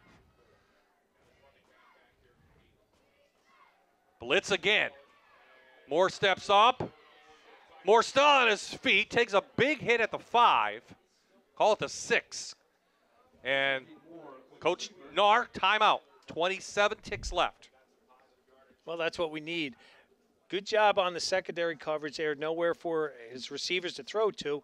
Heads up play, gets down smartly, has the ball covered up so it doesn't pop out. And went head first instead of feet first. Correct. took a took a pop but got back up. So Second and goal from the six. I figure you have to throw, right? Because that stops the. If you throw a run in, well, you have a timeout. Yeah, have they still have timeouts. timeouts. So let's see the draw play. What are you calling here? I kind of like that cutback play where they rolled him to the left and running back went to the back to the right side. And with Ellis in there, uh, he's such a power back, you know, running ISO play in there too. They've got the big guys up front. Right Cardinals now, have been dialing up the blitz the last couple of plays for this defense. So if, if anything, you want to get a fuel out of here. I know you're down 38-14, but you've got to get points going into mm-hmm. the into the into the locker room. You get the ball to begin with some momentum now going into the third quarter. You try to get uh, Big Mo back onto your side, as we talked about mm-hmm. earlier. But this would be key. And then there's going to be a dogfight in the second half. Absolutely. If they get this, and then if they come out, again, they're going to be focused. They know what they have to improve upon special teams, okay, and stop the big play.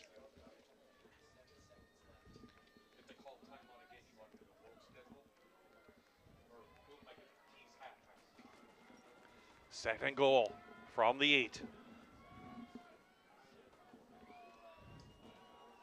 Moore back, tipped at the line of scrimmage.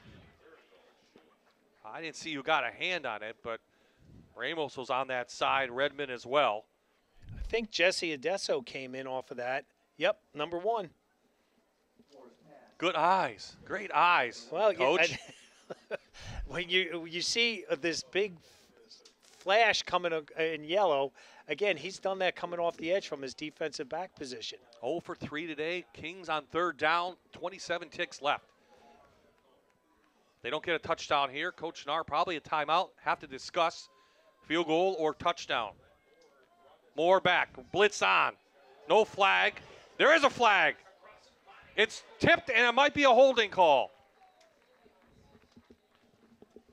Steele Hess gazing over Tyler Moore after the play.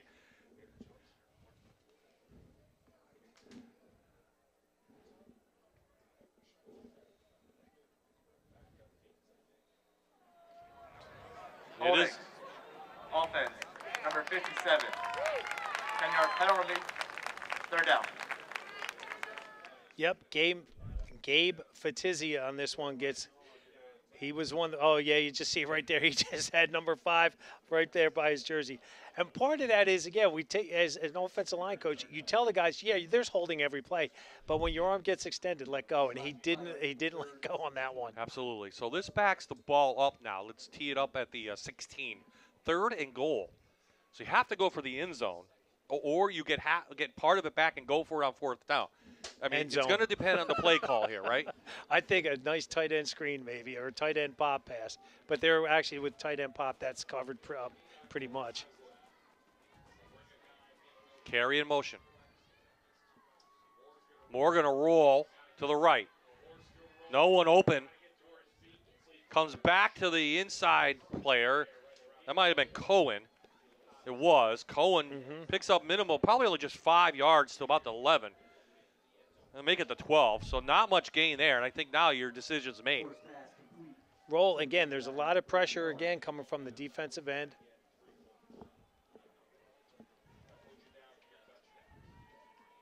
Now more like fourth and goal on the 12. So on fourth down and goal, they're going to bring out the field goal team. Number 99, Briskevich in there. He's 5 of 12 on the season, has a long of 42 yards. This will be a 39 yarder for Kings. 12 ticks before the half. A timeout called by the Colonels. Coming up at the half, Jake Sarwar's back underneath the tent here at Wilkes on a beautiful afternoon. He'll talk to both college presidents. Always good to see them here enjoying this game. A very friendly conversation, I'm sure. Oh, it is. Friendly conversation between the two presidents. So Jake will have that. Jan and I will be back in the booth. If we don't get hit by the ladder um, behind us. Uh, Coach McKenna wanted out. yeah.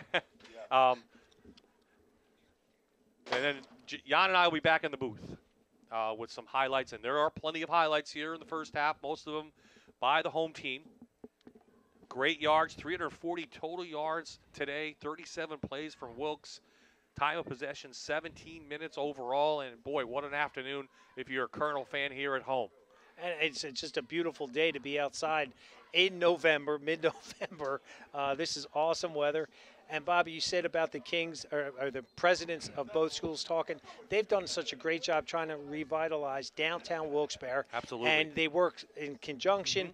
Except for this game, you know, this is where they, they may not be so cordial. But as soon as the the final, uh, the official, the game's over, they go right back to doing what's best for this students and the community. So far, the Battle of Wilkes-Barre is down on South Franklin Street.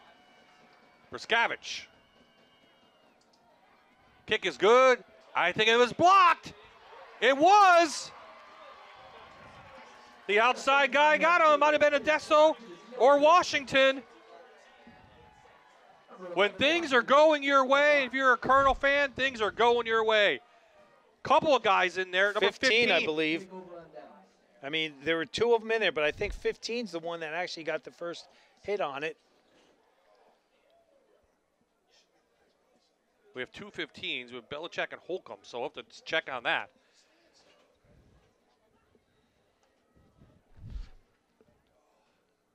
Yep. That was uh, we just have to determine which 15 because the Colonels and the Monarchs both have double numbers, and we're not sure who. Like when Yeah. they're special teams players, we're not sure which one it is. And that will do it. What a half of football here, the 26th annual Mayor's Cup. If you're a Wilkes University fan, lost last week 28 to nothing. Today you put up 35 on the board, and you lead your rivals At the half, baby. at the half, 38 to 14. Jan and I are going to catch our breath. Jaco Sarwar takes over on the other side with both presidents. Stay tuned. We're going to have a second half that's going to be memorable. I got a feeling. You're watching the 26th Annual Mayor's Cup, sponsored by King's College and Wilkes University.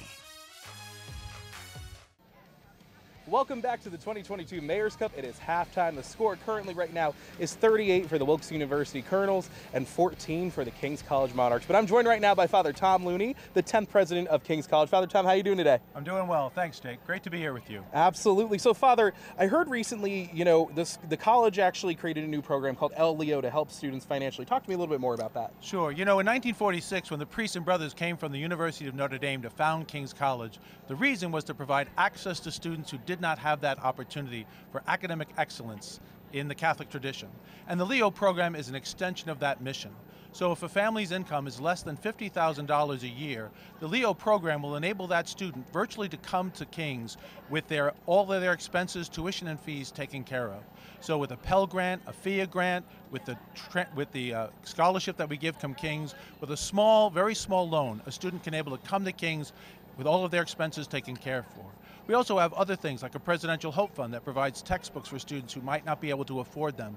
So it's a wonderful package for students who have who come from families who learn less than $50,000 to get a phenomenal education at King's College. Sure. So, you know, I know you're talking about some of your programs. You do have an engineering program, and I hear recently it's become ABET accredited. Talk to me a little bit more about the importance of that and what that means for a student, you know, to have that on their degree as well. Sure. When a college gets the gold stamp of approval from an agency that oversees programs, that is a phenomenal thing.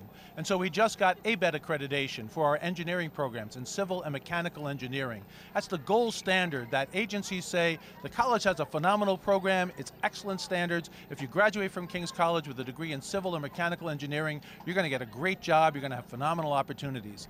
We have a state of the art program in our Mulligan Education Center building. It's a phenomenal opportunity for students to get a great degree in engineering to move forward with great prospects for their future.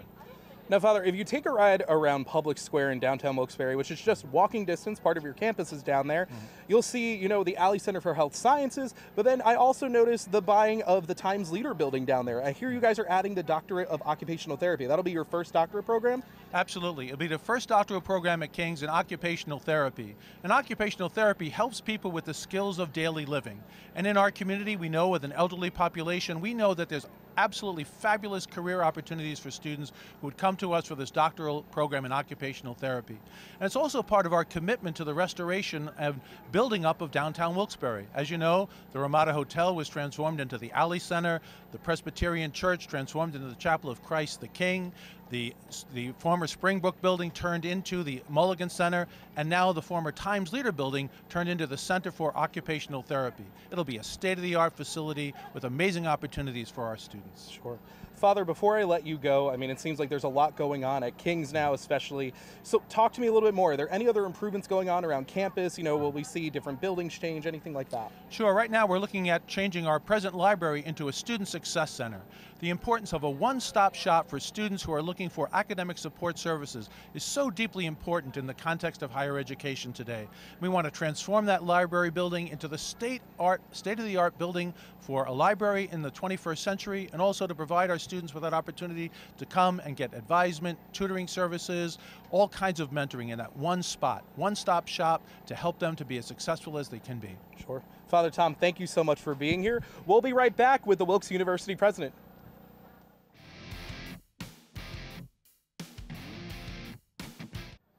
And welcome back to halftime of the 2022 Mayor's Cup.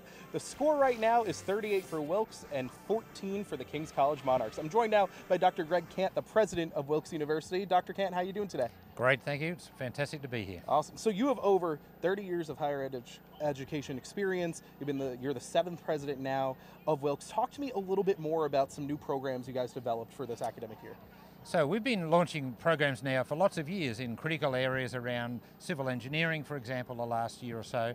But this year we've put together a unique program that no one else is offering in our region, uh, focused on the industry of cannabis, and it brings together uh, chemistry, pharmaceutical sciences, and really looks at that industry, which is important both in the Commonwealth and around the country. We have both an undergraduate degree and a certificate program in pharmaceutical chemistry. Awesome. So, talk to me then a little bit. You know, we're coming basically to the end of the fall semester. Um, again, another one in person for a lot of schools across the country. Talk to me about some recent improvements you guys are making around campus. So, we've made lots of improvements to our physical infrastructure. Some of them include actually to the pharmacy program I mentioned before, a, multi million dollar uh, improvement to what's their Stark Learning Centre, is the largest building on campus, and that adds lots of capacity to that program. We've also added two new robotics labs in our engineering program, uh, as well as improvements, just got a new uh, funding from the Commonwealth that will allow us to put uh, accessibility and large improvements to the Dorothy Dickson Darte uh, Performing Arts Centre, along with other improvements in our uh, in the streetscape, just generally around campus, big improvements to the experience for our students. Sure, absolutely. It sounds like you guys have a lot going on this semester. Talk to me, you know, I know you mentioned the Darte Center. Talk to me a little bit about, you know, just exciting events that are happening for the campus, but especially your students. We have lot, we bring in lots of speakers. So we have some tremendous speaker series, some which are, are focused to bring in for the broader community. And so on a regular basis, there's someone of note, whether it's uh, bringing in a, one of the leading historians and professors from Harvard University to talk about changes in our political environment. We bring in specialists across the sciences. The business program routinely brings in people who are then open conversation so that members, not just of our community, both our students, our faculty and staff, but the broader Wilkes-Barre and our community get along to hear people who are shaping the future for us. Sure, absolutely. And before I let you go, let me know, you know, in the next semester, the next few years, you know, what's your goal, what's your plan for Wilkes University? It's interesting. I, of course, heard, um, um, you know, our colleagues down the road talking about what we're doing for libraries. And that kind of change actually is uh, others, us and others are looking at really reimagining the student experience. Sure. At the end of the day, our basic promise is the opportunities we give to students. So we talk about that in our, our essentially our slogan, at Wilkes you will. So we're then ensuring that the experiences that our students get, whether it's the way they interact with data and information through a new reimagined library, whether it's all the layers of service that make sure they get a chance to thrive. So all those new endeavours are about improving the quality of the academic experience, making sure that as you live on campus, you get things that change your life. Sure. And what's uh, unique to Wilkes is over 60% of our students are actually graduate students. So we have over 3,000 graduate wow. students around the country and around the world. So we're quite a big player in that non-residential distance learning sure. environment, including over 1,700 graduate nursing students. Awesome. Well, Dr. Cant, thank you so much. Enjoy the rest of the game. We'll be right back with more of the Mayor's Cup in just a little bit. Thank you.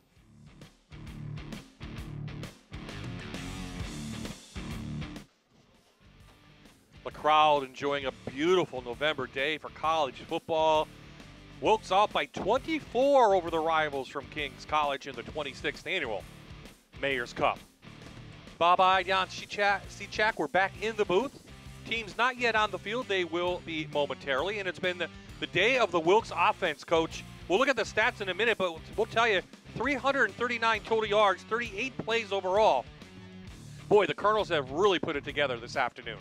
Having your quarterback back really adds a huge amount of uh, dimension to this offense. He's getting it done in the air, which they couldn't do anything last week with uh, their fourth string quarterback. And this game means so much to both teams in terms of playoffs. And right now, Wilkes is like making a very strong point why they should be in there. Kings having a Great season under Jeff Knarr's 13th year. It's the most wins in his career here at Kings, but a loss today will drop them down. Most likely they will get a MAC Centennial Bowl berth a week from now. Who they play to be determined, but this is also good for Wilkes. They could get a berth as well with a couple of uh, losses from some other teams. Yeah, when you start doing the what if things, Yeah. but Bob, you had mentioned earlier that they're going to a new conference next year. Landmark. The Landmark Conference, and they're putting those teams on notice right now. You mentioned that with how well they're playing and how young this team is. Absolutely. Let's take a look at the highlights, and there are a lot from the first half. Mostly Kings, uh, excuse me, mostly Wilkes. Here we go. Roll the package. Here we go. Pow. First connection. Great catch. 16 yard pass right in the backfield. I mean, Higgins uh, does a great job with there. Now, who do we get? Their number one running back in the league right now. 68 yard run. He could go all the way. Spoiler alert, he's in there, baby. Nice job. Just when you thought it was over, that he's only one dimension as in terms of running, watch this. Nice swing pass. Tucks that ball in. Great block on the outside and in the inside for their s- third touchdown of the game. Now, just when you thought they were down and out. Old Forge native, Carey comes up here. He goes 87 yards on the kick return. Preskevich does a nice job with the extra point kick, gets them back into the game. But Wilkes comes right back now. Dean, 22 yard pass catch. As I said, reminded me of Dallas Goedert for the Eagles right there with that tight end screen. Okay, just when you thought, okay, they're out. Guess who comes back for Old Forge proud? Right there. Again, Carey this time. 93 yards. Not his longest, but still keeps the Monarchs in the game. And they come back right now. Schweizerhoff right now, 33 yard pass for another touchdown. And to end it, we end up, oh, okay, we don't, we're not going to see that. The field goal there at the end. By Razaza, 30 yards for Wilkes, and that's made it 38 to 14. Wilkes coming down as a team, down from the Munson Fieldhouse in Unity. They take the field. Let's take a look at the stats now, and as you might expect, dominated, and I mean dominated, by the Wilkes University Colonels overall. 237 to 77 in passing. They couldn't do anything last week uh, against Stevenson. Wilkes couldn't, but boy, having their quarterback back helps. 102 yards rushing versus 58. Last week, what uh, we saw, Wilkes only had 48 yards total offense. No, that was So, just passing. That was just air. passing. Yeah. All right. Yeah. Turnovers have been a key though for Kings. They've had two turnovers, and they've actually converted to points for the Colonels. And the time and the plays versus the yards, you can see that everybody, you know, they're doing a tremendous job. The Colonels are. Now, how is Kings going to respond? They get the ball to start second half, and we're going to see what Coach Knarr and his staff drew up at halftime to get them back into this game. What we didn't see in there was the block punt field goal, block field goal by Kings, almost towards the end of the half, six, sec- six seconds left in the half. It was blocked. That did not give Kings any points. Didn't give them momentum. Gave more momentum back to Wilkes, and they've had Big Mo all first half. They have, and and the 12th player is he's been huge for the Colonels today. So we'll have to wait and see what happens. And, and that was I think it was 15 was Yeah. the one that got his hand on it. It was Holcomb, I believe it was. yep. Yep, did a nice job with that. Uh, they're just swarming to the ball. They just seem like they really want this game a little bit more than the Monarchs at this point. Go inside the numbers a a little bit, Coach. 11 first downs to 8 for Wilkes, but it's really been third down efficiency that has helped the Colonels. 4 of 8 on the day. Kings just 0 and 4. Time of possession, as you might expect, 17 minutes for Wilkes and 12 for Kings. And that third down possession, of those four downs that the Colonels have converted, two of them have been touchdowns, which uh, you're thinking, well, if we could just get a first down, keep the drive alive. But they really have capitalized and done a nice job. Both teams now on the field. The clock is set for the third quarter. Kings gets the ball, as I said, need points in this one, and they go from there. I mean, you'll see a lot of different things maybe from Jeff Knarr, some trick plays, some onside kicks, anything to get back in this game because they want to be the number one seed coming out in the bowl game and tell the NCAA tournament committee for Division Three, hey, we came back, we're still winners, we have our ninth win on the year. And uh, you can't deny us. And that's what it's going to come down to. You cannot deny us that bid uh, position because we've earned it, especially if they can come back and beat the Colonels right now. And I'm sure right now, Coach uh, Drach is saying, please, whoever special teams coach is, kicker, do not, kick to who? I'm, I'm going to go out on a limb and say in the history of this game, 33rd meet, 35th meeting, there has not been two touchdown returns in one game, not of 87 and 93 yards. So and not by the same no, player. Not by the same yeah. player. So we are ready to go for the third quarter. 24 point lead for the home team, trying to get that Mayor's Cup trophy back for the first time since 2019. Jake Sarwar will be back with us with some more interviews in this half as well. There's the Mayor's Cup, what they're battling for. And on each side, there's a little placard engraved with the score and the year, obviously, of the winner of each one.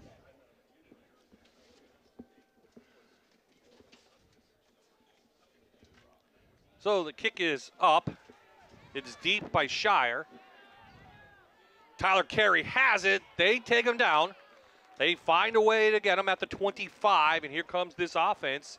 Again, only 135 total yards on the day coming in. Coach, as we know, number number one passing team in the league, number three overall in total offense, but the Colonels defense has held them in check. And that defensive line has been putting so much pressure on, along with blanket coverage by the Colonel's secondary.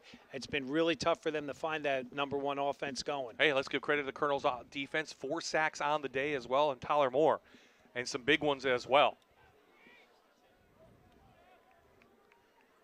So Moore back. Next to him looks like it is Ellis. Nope, it's Haley. Haley with the ball. Nowhere to go. And the defense comes out strong. Piston out of Parkland makes the tackle for a loss. And the relentless pursuit by Angel Ramos, number four, another defensive lineman, making sure that there's no running lanes available for any of the Monarchs. You'll see they go. I, what I was looking at, they were trying to do like a little crossbuck action in there. Number nine coming into our screen, they give the ball, and he's going away from us. And the Colonels were not fooled by it at all. Haley only averaging three yards per carry, and Coach Knarr just tried to keep that running game going, but I think they have to go to the air as much as possible. Especially when you have a grad guy in there who's five-year starter. And it's picked off by the Colonels. Devon James. And he is in for a Wilkes touchdown. That's an interception. Oh my! Davon James, 5'11, 185 pound sophomore. That's what I'm saying. How the youth of the Colonels. Look at this play. He's got time. He just steps right into it. He was trying to go to Di Gregorio on that, and it, Davon just did a great job stepping up in there. And he stayed in bounds by the hair of his shoe. His first interception, his first touchdown, a pick six for the Colonels. How do you stop the number one offense in passing? Pick the ball off and turn it in for six points.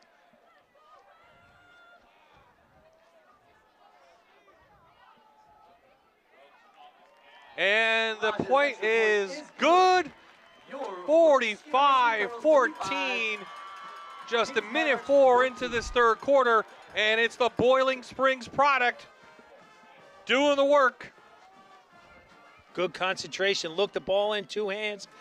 Let's see that sideline. Oh, great job with our camera work. Is that Jonathan Gumble again there? Gumble and the guys upstairs did a Uh, great Jo- job. He these- saw he just got his foot in bounds, and he dove for the end zone. And things are railing on the Monarch sideline.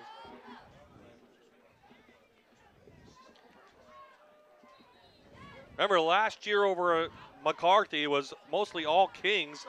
Oh, Wilkes has turned the tables here at home. Well, I remember when I was coaching with Coach Sheptock. I was uh, defensive line coach for the Colonels, and we went over to McCarthy Field and we got beat 27 nothing. And Coach Coach Sheptock had T-shirts made up with us for everybody, and they had 27 nothing on the sleeve as a reminder. Work your backsides off in the offseason, and let's not have that happen again. Officially, the James pick six, 32 yards. And the sideline on our side is going nuts.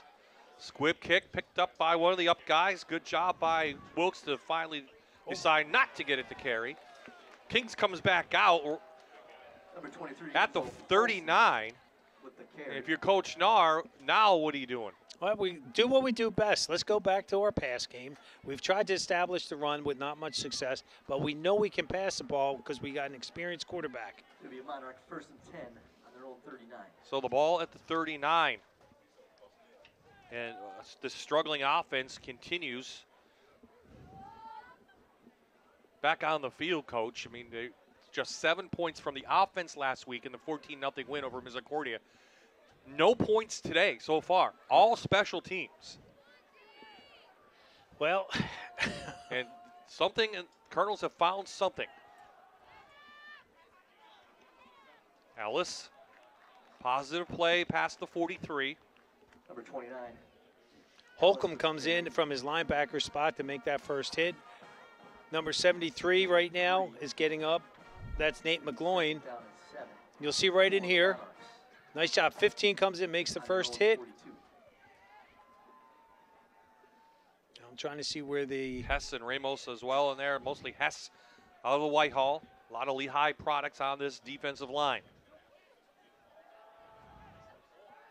Moore did not have his first target. Has to go down to the secondary one. Tries to hit Ellis in the flat. Goes off his hand. You saw Moore not even take a drop. He was trying to go to this left side quick. He was he knew where he wanted to go and he was going through his progressions, but it, he had a little bit of time. But this is what they're doing. You see number five in your screen right now. He keeps getting in the quarterback's face. And Moore, we said earlier with his interceptions, if you saw that last pass, that's where they've come from. He throws the ball hard, tips off the receiver into a D-back's hand. Rolling Moore. They pick up a first down, hit Herman out there, I think, on the far side. Herman makes the catch. They'll move the chains. Kings has moved the ball. We'll see you this one again. But then they just sign a self-destruct and make mistakes. And this is where they can be deadly. If they're just going to start doing just short passes and they're getting, well, they got a first down. They got 12 yards on that one. They're going to get down the field in a hurry. So I, this game is by no means over at this point. Ellis right through the middle. Up past the 44 yard line inside Colonel territory. Uh, we've been here before for Kings that just haven't converted. David Osmond They go with that. They go with the inside zone. You can see they're mugged up. Number 60 there, Zachary Terran Wimmer and Gabe Fatizzi in there. They're just mugging. They grab. They drop their back, their right foot to turn, and just get open up a running lane. Four man rush tipped at the line of scrimmage. That was number seven for the Colonels on that tip that time. We're going to see who that is because he's just uh, actually he came off the bench. Billy Costner, It's going to be a Monarch Okay. senior defensive lineman. On their Colonel 43. So again, third down, one for five on the day are the Monarchs. No blitz, three man rush. Quick hitter to Gorio. He's got a first down past the 35. Moore's pass Gain of complete seven. Number 22, Michael Di Gregorio. Oh, this is when it's going to count in here. Nice job. He just comes in right there Marshall on the on a post pattern in there, and he just stopped because if he kept going, he would have gone right into number two of the Colonels, and they didn't want to do that. 31 catches on the year for Di Gregorio out of Old Forge, and no running room at all Ellis with the for Ellis. A host of gold jerseys there, including Piston playing his last game. We see number one, number five, and Second down and 10. 15 getting in there, getting some of that. Brandon Holcomb again, the senior from Boca Raton, Florida, all the way up here. Who knew?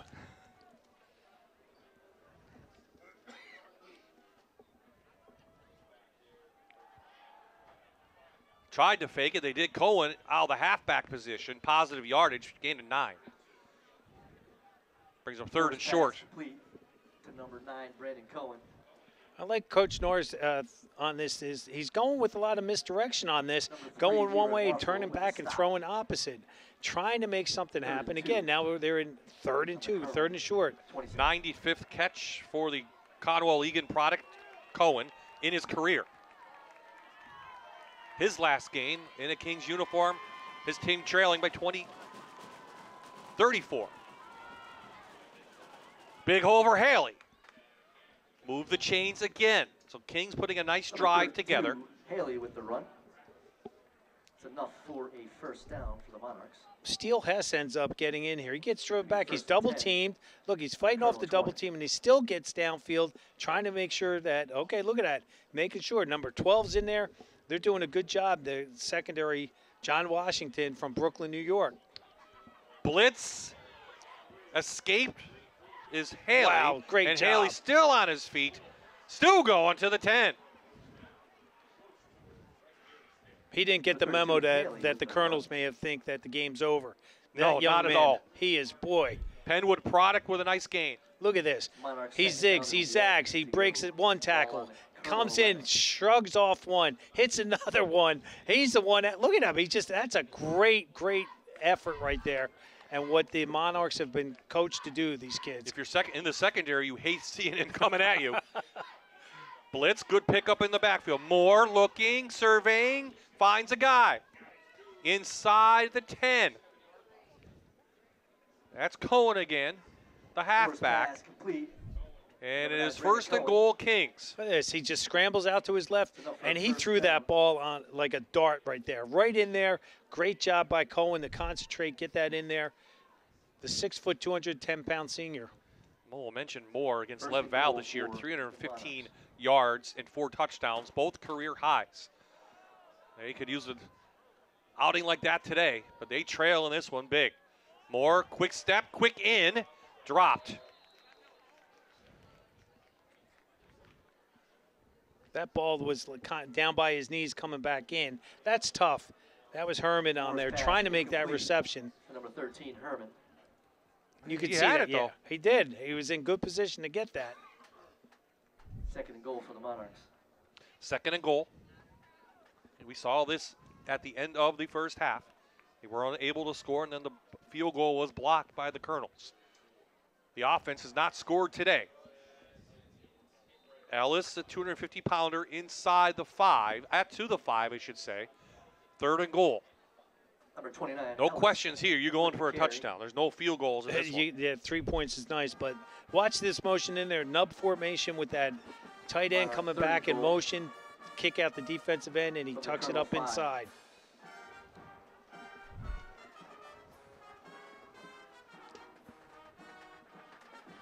Where this defensive line has really played well today for Wilkes.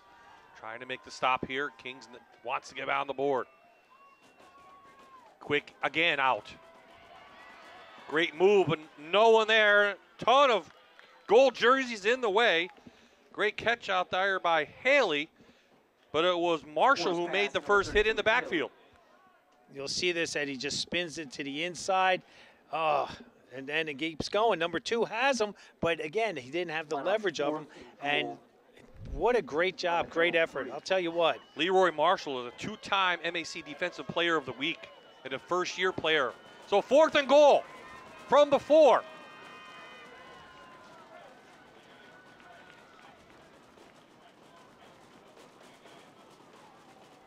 Moore back to the tight end who slips out. Touchdown, Kings. Ryan McCombs slipped out and he was wide open. What a play call. Kings finally gets on the board on the offensive side. Well, there was a lot to that play. I mean, they lined up, then they motioned, and then they changed the formation. Great call, great play. I love it. To kick the extra point. Prskavich on for the PAT as Kings cuts into the lead, 740 left.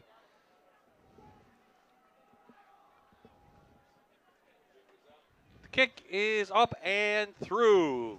Scavenger's extra point is good. So the drives Your Wilkes Colonel Gets 45. a touchdown. Kings Monarchs 21. We'll take a break. It was a 15 play, 61 yard drive. Kings with the first offensive touchdown of the afternoon.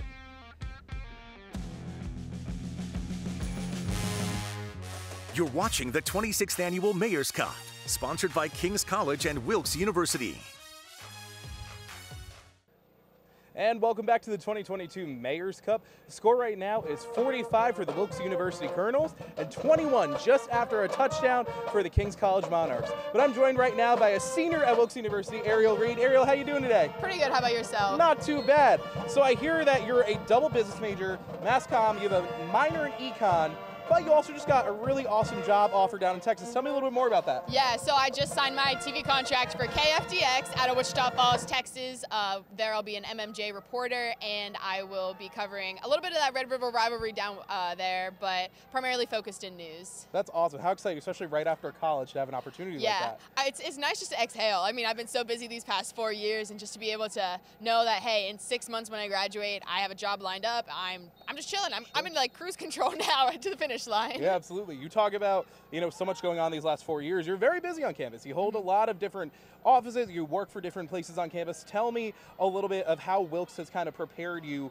to take this next step. I mean, Wilkes has really allowed me to become a true jack of all trades. I mean, I got my start in newspaper, so I have a background in news writing. Uh, had a bunch of radio experience, so I got have great. Uh, I don't know, technical experience with Sure, audio yeah. editing, that sort of stuff. Same with TV. I mean, I've had hand, hands-on experience uh, with some of the best equipment for the past four years. It's been it's been awesome. Sure, absolutely. And I mean, it's needed, right? Especially in the field. Yes. Um, Ariel, you know, tell me, what's a piece of advice you'd have for that high school student that thinks, you know, that'd be really cool. I'd like to be a reporter. They see this and say, I'd like to do exactly what she's doing. You know, what's a piece of advice you'd give them? I'd say go all in on plan A. Like, don't have a plan B. Like, you, you really got to go two feet in the door, fully committed, do everything you can, and just go for it. And you'll end up in a spot like this. Yeah, absolutely. Well, Ariel, thank you so much. I'm sure we'll be seeing you very soon on our TVs at some point as well, too. Absolutely. Guys, back to you up in the booth. Well, what what congratulations. Yeah, congratulations getting a job right out of school. That's awesome. Now, if my daughter could do that, that'd be great too. No Well- plug there. No plug there, but great job. Uh, two reporters. Jake's done a nice job too, coming over, living his dream as a reporter, doing an awesome job in our Fox 56 News first at 10. So we're a flag down. What against the Monarchs? Uh, so the Colonels have the ball on offense right up at their own 44-yard line to begin this drive. After Kings march down the field. Let's see how the Colonels respond with this. Oh, Powell, quick hitter to Peltzer over the middle. Gain of five. Make it six or seven. Seven. Powell's pass complete to number nice one. fake in there. And just when I, I was just thinking they're just going to run the ball, they're going to grind it out. What do they do? They're going to continue working that passing game to make sure that they stay balanced. Seven is the Colonel's second and third on the Monarch 49. Well, now the Kings defense needs to come up and stop this powerful offense today. That have put up 45 points with Xavier Powell, the junior from Poughkeepsie, leading the way. He's going to carry. Powell, gain of eight, first down, move the chains inside Monarch Powell, territory. Well, I don't know what his injury status was or what happened to him, but he looks pretty strong Yeah, right yeah, here. yeah, he does. Looks real healthy. If that's 80%, you'll take it, right? Absolutely. Wow. He, I mean, he's really done a great job orchestrating this offense today. Coming back after a couple weeks uh, off, you know, coming off the injured reserve list, and he's really taking control of this game. He's thrown for 244 yards, has four touchdowns. Jules picks up one more yard. He'll have 100 on the day again. Go to the air again. Outside to the senior Whitaker. Still on his feet, Nate Whitaker in his last game in a Colonel uniform. Wants a touchdown, and he will get it. What an effort from Nate Whitaker. 43 yard Whitaker. Colonel score. Complete for a Colonel touchdown. This is what we talk about. You play to the whistle. Good ball, good route. Look at this. Just when you thought he's down, he keeps his balance and he cuts back inside. Look at that speed and burst. And a nice job to get that much wanted touchdown on your last home game as a, as a football player for the Colonels. He came in fifth in the league in receptions. Add another and add his 14th career touchdown to Whitaker's resume here with the Colonels. Rosaz's kick is up and good. 51 on the board for Wilkes. They're on their way to getting that cup back. We'll be right back to the Mayor's Cup.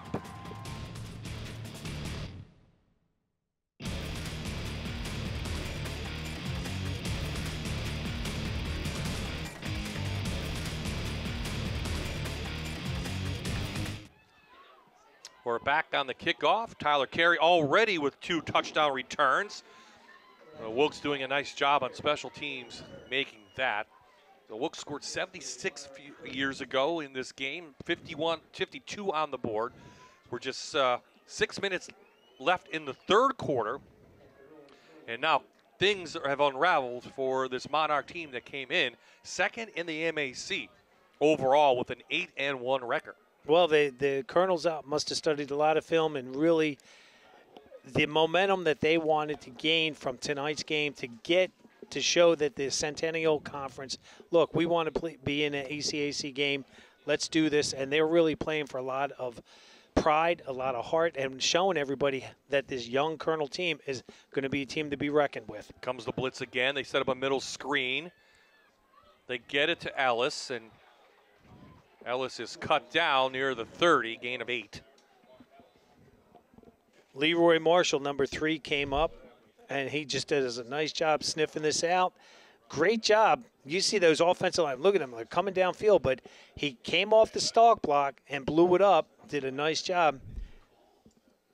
Right now, the Monarchs are scratching their head trying to figure out what do we have to do to keep this game and keep going. First out. There was a flag on the play. Roughing the passer called against Wilkes. So that will give the Monarchs 15 more yards and put the ball at the 42 of Kings. As the Monarchs offense back on the field. They've run 46 plays today for 194 yards. Four man rush, more pressure comes. He gets it almost picked off, off the hands of Di Gregorio. Goes incomplete.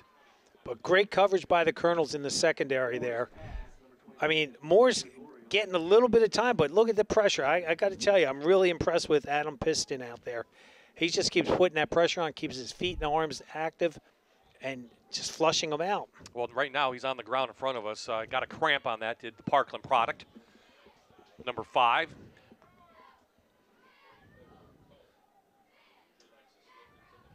Moore going to roll into the flat to Cohen. Right near the 50 is going to be taken down. Not much room there for the Colonels, or excuse me, for the Monarchs offense, coach. No, there's not. I'm looking at Coach Knarr was just talking to the official about something. Well, there's a lot of jarring down there. I mean, Wilkes hasn't won since 2019. They skipped 2020. Last year, Kings kind of put them on them over at McCarthy, and now they're returning the favor here. So there's a, definitely a lot of trash talk down on the field between schools that are a block apart. So the referees want to get a hold of this. Keep it in Don't- check. Yeah. Yep. You don't want to get thrown out because these two teams might play next week. Kings definitely. Wilkes maybe. Right? You They are don't- You want to play next week again. You don't want this to be your last game and how you go out. After the play was over, unsportsmanlike conduct, Wilkes, number 11. 15 yard penalty. First out. This is Wilkes, number 11. First unsportsmanlike conduct penalty of the game. Jeremy Hernandez was called for that unsportsmanlike. Number 11 for the Colonels. So two penalties on Wilkes has given uh, Kings about 30 yards on this drive, trailing by 31. Here comes the blitz, drops the ball, scooped up by the Colonels. James with the scoop. Davon James tried to scoop and score on that. There, the pressure just by that being created. Number 52 came right off the edge. Matt Williams. Right from the get start, and he nobody picked him up. It was a free shot at the cue. He turned his back. The ball dropped. Number 52 congr- getting congratulations. Williams is a sophomore out of Wheatley Heights, New York. And he, he brought the pressure, and then James scooped it up. And everything has gone right today for the Colonels. The ball bouncing their way. It really throughout. is. And, and you know, like you're looking at the score thinking, wow, it's a lopsided game. They're really putting it to them. But you don't help yourself out by having turnovers and fumbles. Jules over 100 yards now. The big hit downfield, but not after a 12 yard gain into Monarch territory. Caraccio with a big hit. Carcio coming up, like, yeah, he's like flexing that he got a hit on him. But again, watch how Jules, he's just so smooth running, comes in there. That is a that was a big league hit too. Again, but he just gets up. He, he goes, I know I'm going to get hit. On the Monarch 36. Again, these two teams will meet next year. Maybe the weather will be like this September 2nd to 2023. Over at Kings, as the Mayor's Cup will return, it will be the first game for both schools next year. Wilkes headed to the Landmark Conference. Kings in this MAC. Jules again, taken down by Dylan White. Number four, Jules on the carry. No gain on the play. Dylan White's a senior, 5'11", 215 pounder. You'll see he wraps him up. He's trying to hog time, wrestle him down. But again, Jules is just so he's he's short, shorter type guy. He's got a low center of gravity. He's hard to pick up and throw around like that. White career 112 total tackles coming in. He is a senior out of Carlisle.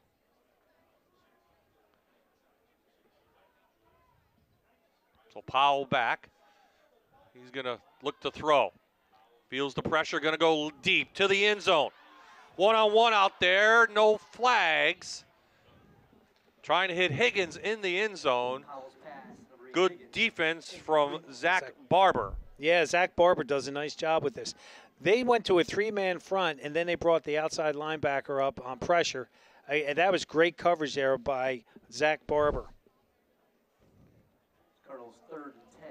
So it's the first third down of the second half for Wilkes, four of eight in that first half. But they've been very efficient, especially putting scores up with on third down.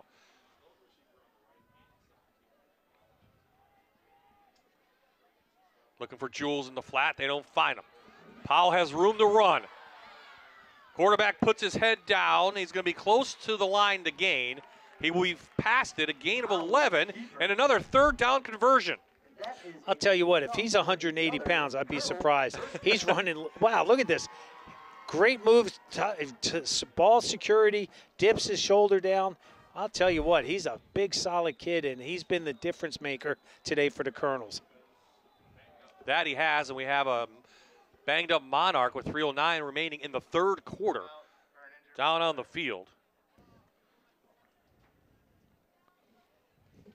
Here's what Wilkes did this year. Again, a nice couple wins there from Keystone. Probably a tough loss to Leb Val. Um, all you know, a lot of teams lose to Delaware Valley. Yes, but you know they've lost the last two out of three. But again, their quarterback Rodriguez went down. He was the top quarterback in the league when he went down. Mm-hmm. Powell got hurt then. They last week, well noted today. Yes. Third and fourth string. Totally different team today, as you can see. Well, your playbook goes from now one sheet back to the five or six or whatever they have. Yeah, I mean, it really limits it. The more you go down your depth chart with young quarterbacks, the less they can do. And you don't want to put a ton of pressure on their shoulders. But Wilkes, uh, again, Keystone, Widener, that's a surprising one because Widener for years was always a perennial powerhouse. Them and Del Val down from that Philadelphia area. So they're, they're doing things well up here with a young team. Jamil Thomas, the junior of Upper Darby, was the man injured for Kings. He walked off on his own accord. So first down, again, Powell. Straight quarterback sneak, and he evades one tackle and then gets horse collar down, no flag down. But he's inside the five. First and goal, Wilkes.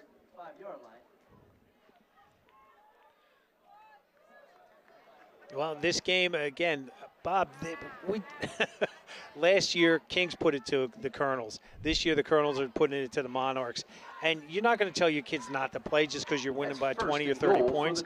I thought it was a. ho- It looked like a horse collar. He just had his jersey. He had the jersey Yeah. and he did let go, smartly let go right in front of the official. Gain of 20 for Powell. Wilkes is just going to be putting points up. The most scored points in a game in this Mayor's Cup, 45, 2018 by Kings. Wilkes has surpassed that as Jules goes down inside the five. Second and goal. Jules with the We'll have to check in on most points they've scored. 76 they scored at one point. Wow. There's Coach Drach with Few his years uh, ago. his his coaches, and I'm sure if they punch this one in, the fourth quarter, we're going to see a lot of the underclassmen coming in and maybe seniors that don't get a lot of playing time. Let them have a great finish their career, and that's what these the both colleges want to do. They want to keep their traditions going. They want their seniors to go out on the on the top on a on a great note. Mm-hmm. So. Yeah, it's going to be an interesting fourth quarter with the substitutions. We'll probably see timeouts to make sure they have the right personnel in. Fake to Jules. To the tight end, floating out. Jason Dean with his second touchdown on the day out of Blue Mountain. Complete to number 80, Jason Dean for another Colonel touchdown.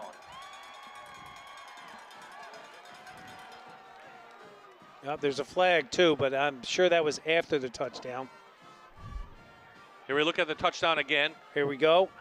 Uh, again, they just run that play action right, and they do a pop. You know, the tight end just slips out, and they slip it to him. Nice job.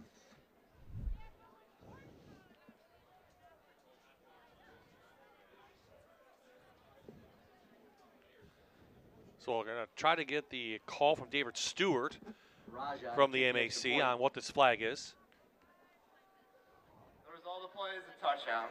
After the play was the over. on Unsportsmanlike conduct. Wilkes, number seven. That 15-yard penalty will be enforced on the kickoff. This is Wilkes, number 70, first unsportsmanlike conduct of the game.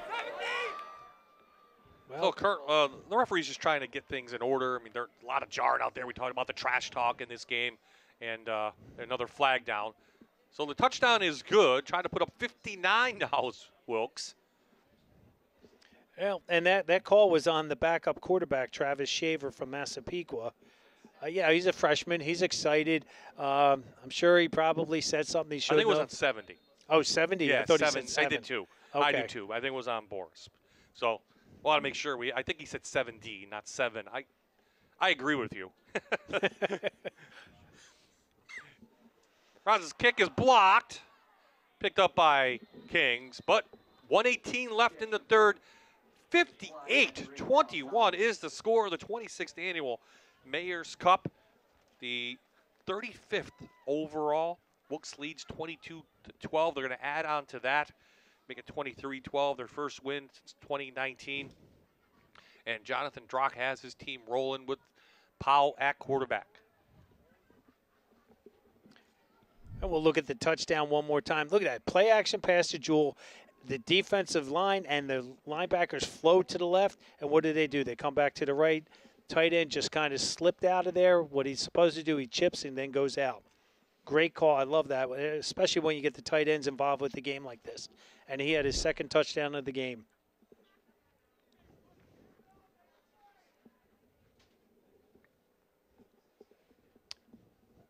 So the only highlight really today for Kings has been those two touchdown returns in the first half by Tyler Carey.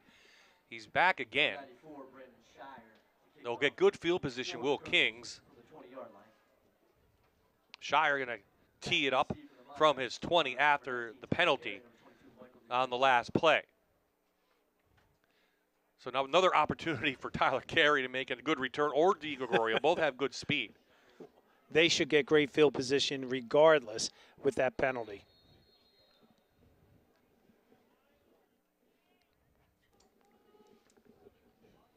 High kick right to Carey from his 25. Finds a gap.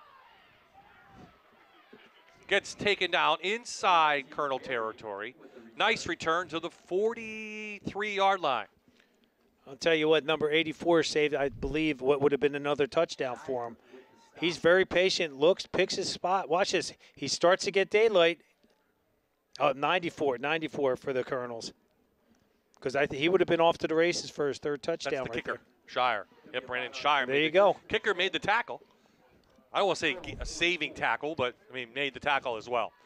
So here comes the Kings offense out again today.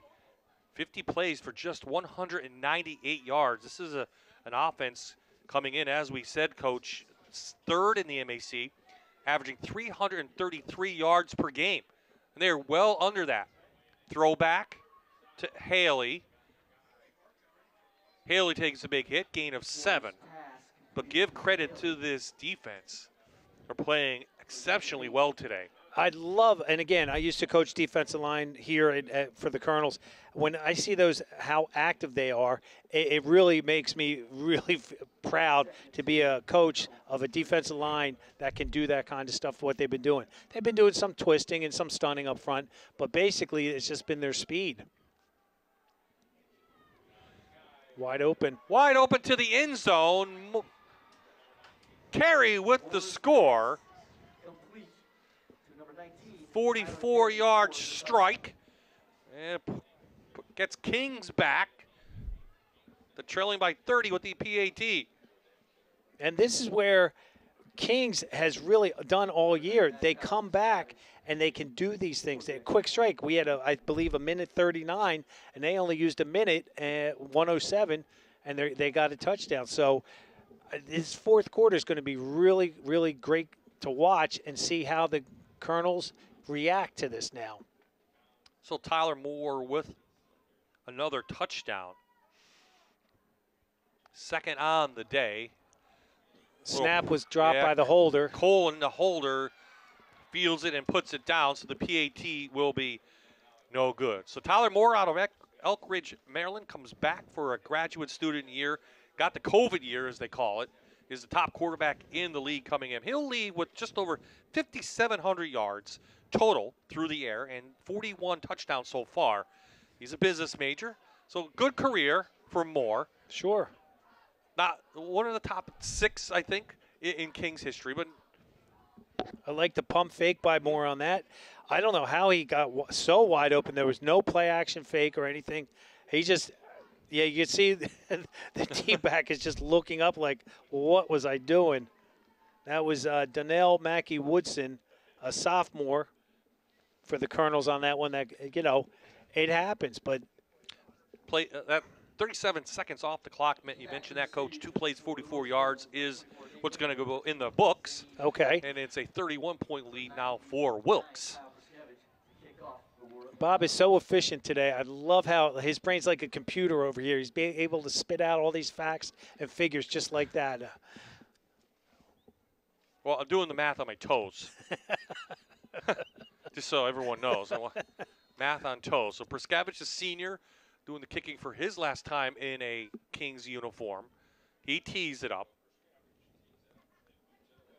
And will be Whitaker, the senior from his 13. Takes a big couple big hits. Still dancing around. Finally, Kings takes him down just past the 20. So Nate Whitaker, again, on special teams. He does have a touchdown through the air. So here comes the Wilkes offense out. 22 ticks left in this long third quarter. It's been a long game with all the scoring, as you might expect. So this offense putting up some real good numbers today. 442 yards on 48 plays. That's an average per play of nine yards, coach. That, that's a nice average. I mean, I, I could work with that. Yeah. Anybody could work with that. and they're third down. They're five of nine. We talked about how proficient they have been.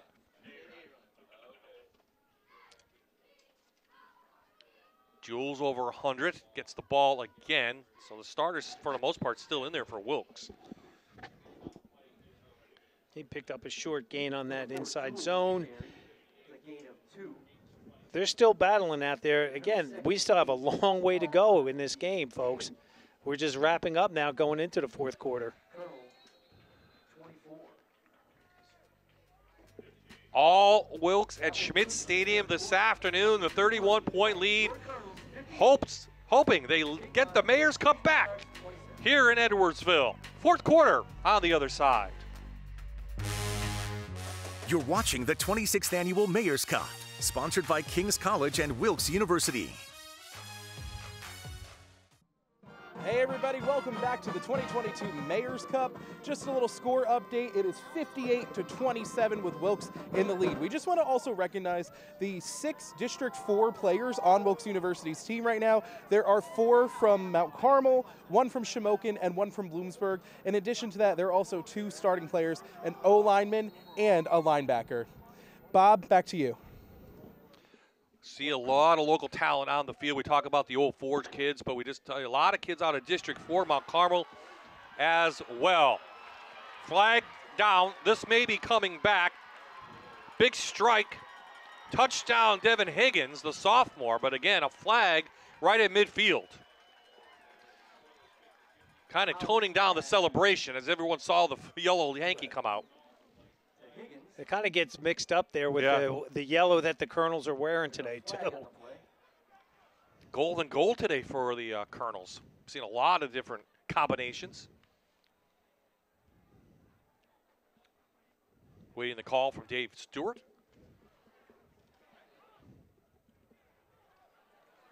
Both teams back, so this one is definitely coming back. So it's a spot foul, so it should be a first down, if anything, for Wilkes. Five seconds into this fourth quarter, Bob I, Jan Sechak, Jake Sarwar, you just saw on the sidelines. It's been a high scoring affair. Holding. Offense number two. 10 yard penalty from the start foul. First down. Almost 90 points on the board, coach, in a college game. It's like watching the Big 12 today. It is. Let's see what we have. Number two is in our screen. Right, there. he did. He grabbed him from behind. Oh, that was actually No, 19. coming down here. Right there. Okay. Sherrod was the guy, number 24, got held.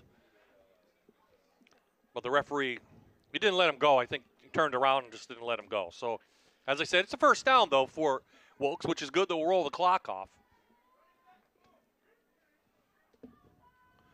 Jules with 113 total yard, uh, yards on the ground. Going to add to that as the starters are still in. Another flag comes in. Number four, Jules on the carry. Service flag on the play.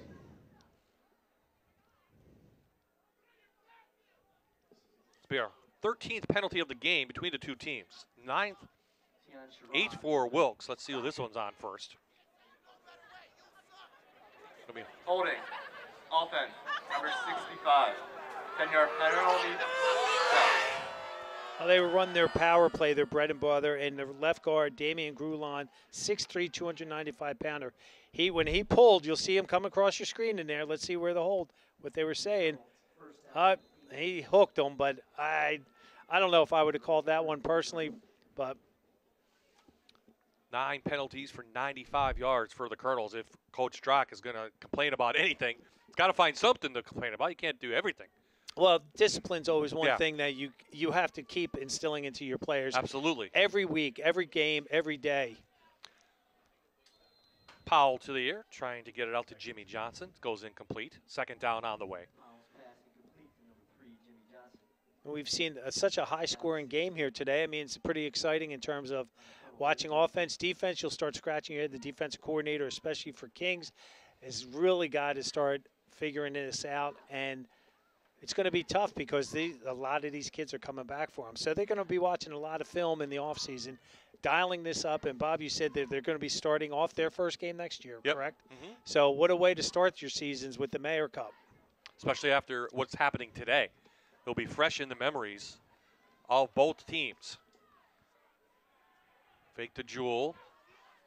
Powell going to go to leap deep again into traffic.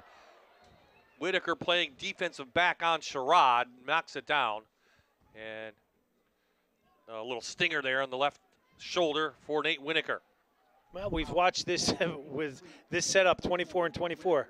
Look at him trying to make things happen. He still manages to get the ball off with a kid in his face. And yeah, he did. He landed on that inside part of his left arm. And he's on the side trying to work that out right now. Well, another third down. And keep talking about their proficiency. Five and nine today. It's tough for Kings to get off the field on third down. But it's third and long. They'll give it a Jules. And this time, Dylan White will be there to make the tackle. And the punt team will come on for Wilkes. on the carry. Number 52, Stewart with the stop. Number 42, I was looking down the roster earlier. Again, that was a great play by Dylan White. Number 71 is 385 pounds for the for the Monarchs. Colonels there. Where did he go? They have him. They have him as one of the up backs in Yeah. the second line there. I just saw this massive young man walking across. I had to look him up, and wow, now he's out there. There you see big number 71. Orlando. Nice. End of over end kick. DiGregorio is going to let it bounce, and it will roll out of bounds at the 27 yard line. 13 14 left in this Mayor's Cup game. Be Monarch first and 10 at their own 27 yard line.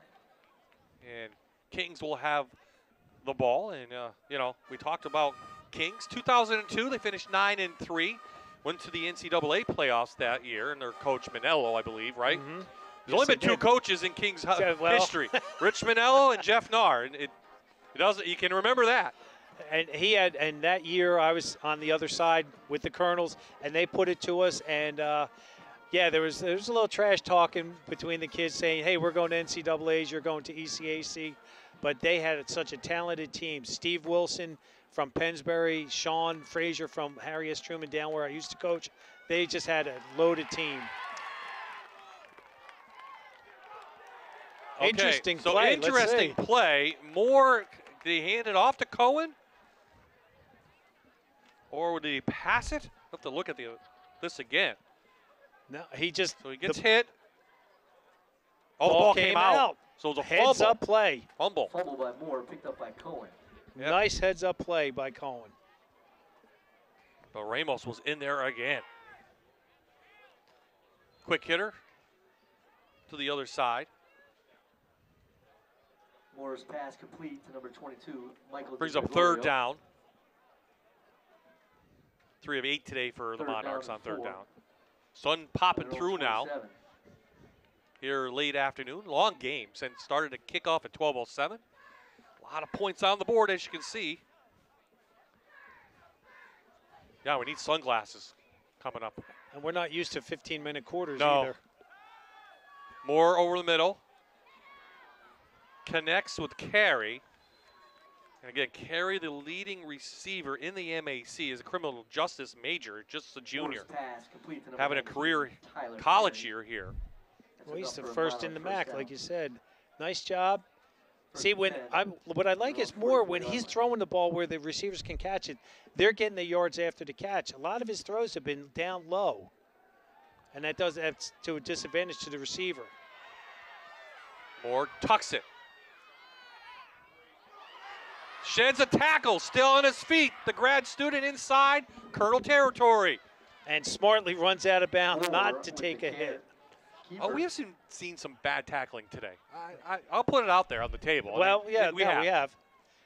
It's enough for a And I'm not first sure. I mean, systemically, I think it's across everywhere First because there's such the concussion 36. protocol. You don't spend time in practice is really doing one-on-ones. You do a lot of form tackling on bags, eh, but it's not the same. No, I, I totally agree, 100%. Moore backs. Gonna be, I think, take it down. He is. Number 51, Lance Priestess, a sophomore, had the first one, swallowed him up, but he kind of snuck out onto that. Number seven, Billy Costa. Here it is. He's starting to get swallowed up, snuck out of there. Oh, he grabbed him. He still had him He by still his had him. I'll give, I'll give him the sack. I'll give him the sack, right? Absolutely. I dropped him for a loss. Yeah, yeah. absolutely. So the backup line in there now for Wilkes. Over the middle to Moore. You're going to say it's a catch to Cohen. Moore's get some of that back. So number nine, third down Cohen. and manageable now for Kings. Moore under pressure again, though. Well, now with these the substitutes coming in for the Colonels, it's pretty easy. If they play their assignment Seven, and alignment, they're just pinning their ears back and going because there's such a cushion back there in terms of score. And those other linebackers, they, they're not, they're still playing. They haven't pulled out their linebackers. Inside handoff to Ellis. And the 250 pound sophomore gives Kings a Ellis with the first down. Goes out of bounds, but clock will stop momentarily as they move the Number 12, John chains. Washington with the stop. So the first defensive line comes back in now for the Colonels. Ellis, pretty good game today, Having a great game. I averaging mean, over six yards per carry. 11 carries, 80 yards. Reverse to Di Gregorio. Michael Di Gregorio taken down wrestling style after gain of eight. Reverse to number 22. How about Moore on this one? Tyler Moore, after he hands the ball off on the speed sweep, he gets involved with the block. Watch this, folks. Hands the ball off. Here's the flip. Watch that right there. Nice job. Number 17 on number five. That, that's Adam, Adam Piston. Piston. Yeah, we we we know he's been playing tough all game, and the quarterback was able to now put a hit on him.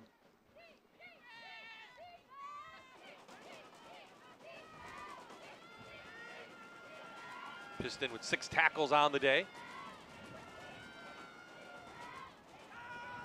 Big rush. Ramos got to him, and Cohen dropped it.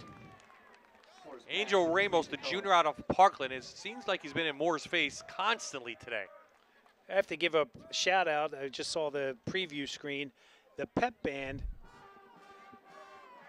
Here's the replay right here. Yep.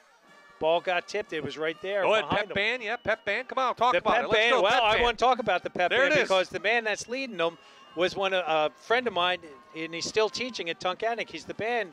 Ken Lucky does a great job with the Tunkhannock program, and now he's down here at Wilkes. One yard gain on that. Let's talk about the band again. band. Bring the boys back. If they we pan down, There we go. Let's get Ken Lucky in there, the oh, director. Oh, come on. You're going to Bill. No, there Bill's they go. You're going to kill Bill. no, those guys.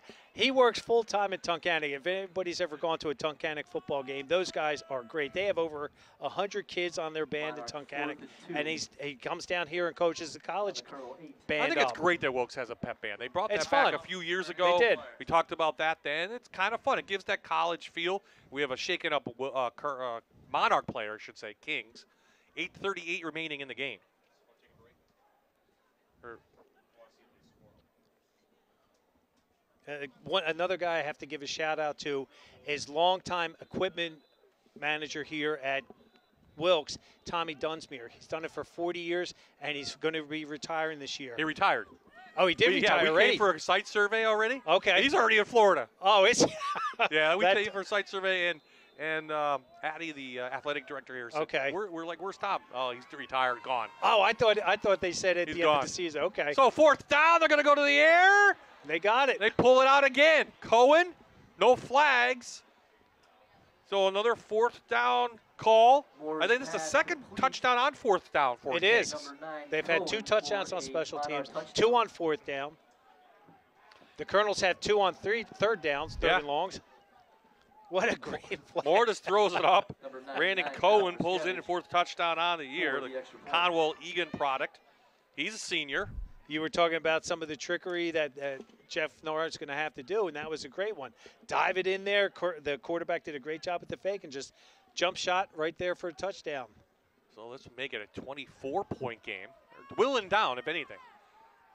Kick is up and good by Priscavage. 8.26 remaining in the Mayor's Cup. It's been all Wilkes here this afternoon. We'll be right back.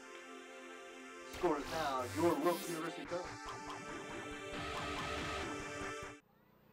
And welcome back to the 2022 Mayor's Cup. I'm so excited to be joined by Dr. Barry Williams, the Dean of the McGowan School of Business at King's. Dr. Williams, how are you doing? I'm doing good, Jake. All right, Barry, I heard through the grapevine there's a new program that's come to King's just recently. Tell me a little bit more about that. Just yesterday, we did an internal announcement that the William G. McGowan School of Business is going to begin its first sports management program. It's going to take off for students entering the school in the fall of 2023, both as first year students and transfer students. And tomorrow we have an open house, and we're going to feature that at tomorrow's open house. And anybody who's interested can come out tomorrow and visit us and get all the information. Absolutely. Barry, you know, for your students at King's, again, you're saying the ones coming in 23, how would this type of program benefit them in their careers? Oh, this is going to be, this will really give them a leg up. Historically, we've been very successful at placing students in the sports industry. We have a senior vice president at the NBA. We have a executive director of the Penguins Foundation, general manager of the Rail Riders, all are King's alum. This is going to help our students accelerate into those programs. And being AACSB internationally accredited, we have a global state of the art accreditation and the global sports market and revenue is well beyond $400 billion. That accreditation, our students, and the market out there is going to be tremendous for the students. Well, sounds great. Dr. Williams, thank you so much. Guys, back to you up in the booth. Well, Thank you, Jake. Wow, Uh, that's doctor? That, that's a- That- amazing, what they have going on at Kings. Wow. Really a at both schools too. So They we're going to line do. up for a let's say uh, onside kick, coach. We're going to get a timeout for Wilkes. Well, Time they- off for Wilkes. They're lining up there. Hey, Kings thinks we're still in it, down 24. Well, then you got to. You're going to fight to the very end, to the, as they say, the proverbial fat lady sings. And again, you could tell it was going to be an onside. They went from they broke their formation. They were doing a stack on theirs. They like do. They did five and five. They stack them. This time they spread it out because you knew they were going to go the onside. Coach is going to be happy. We're going back to high school next week. Well, you're not even here. You're done.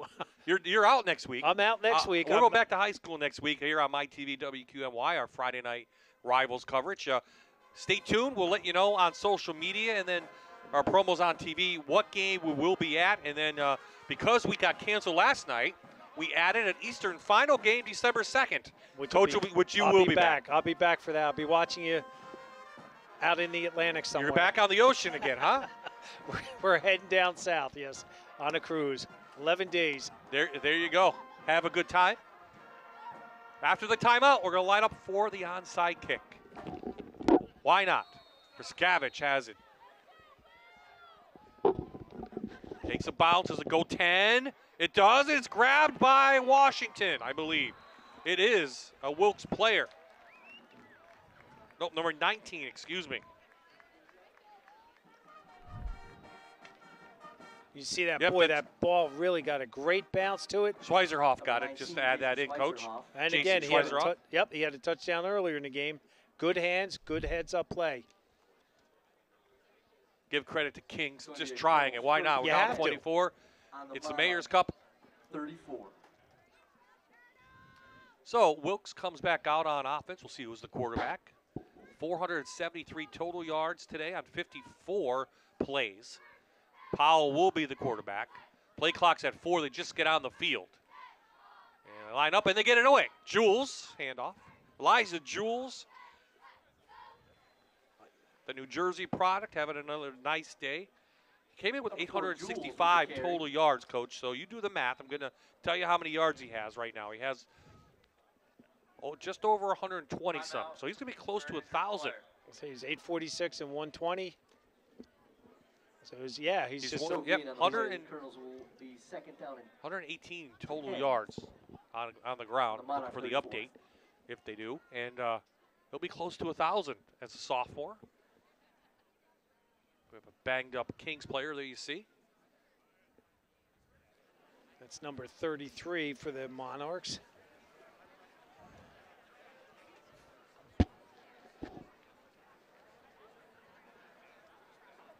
Jake Rupert, the sophomore of Malvern, banged up. Comes off the field.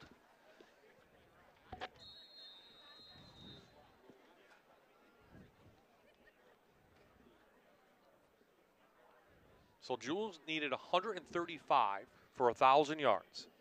He's at 118 now net. So 17 more yards for number four, Elijah Jules. second. Hit the 1,000 mark, Eight. which hasn't been done, I think, in almost 15 years here in the Monarch Colonels. I believe the last time was Brett Trickolo. Yep. Um, and boy, what a, what a physical specimen Brett was. A Dunmore product. Dunmore, yep. Great kid. Powell going to tuck it and run it. Powell is going to be one of our players of the game, and he's thrown for six touchdowns, Powell with the keeper. 314 yards. He's 18 of 29, coach. And you'll just see right there, they just this is a designed quarterback keep the entire time. Instead of handing off the ball to Jules this time, uh, Garino ends up pulling from and his right guard position, and he just Powell just kept it. They're just going to let the clock roll down. So how about what? Explain what QBR is, and then I'll tell you what Powell's is today. The quarterback rating, I hate to see what his ra- his rating's got to be. What 125? Keep right now? going. No, you tell us what it is first. Oh, quarterback rating. Yeah, That's what does that mean? That's where they go. They take the quarterbacks, how he's done offensively in terms of rushing, passing, Yep. and and that's what they determine what your rating is. So we I. 221. All right, there- fan- uh, fantasy folks, there you go. with the keeper. I don't think I've ever seen it that. high. I've have never one that seen high. anybody that high. And that gain is enough That's for a first down for Wilkson. Colonels Here we go. QBR of 221 for Xavier Powell. and how Holy happy is. Jonathan Drach to see him to have him as a backup, as an option after Rodriguez went down. And and Coach Drach, you know, he really was worried about this game. We talked to him pregame about the postseason. He said we just got to take care of business first. He said he would love to get in there, especially with the way their kids are playing right now. He really is probably going to have to lobby super hard to try to get into one of the bowl games, into the Centennial MAC conference. Well, it depends what happened around the league. Jules again. Some minus yardage on that. That will help the cause for the thousand. But if they play next week, you could get that.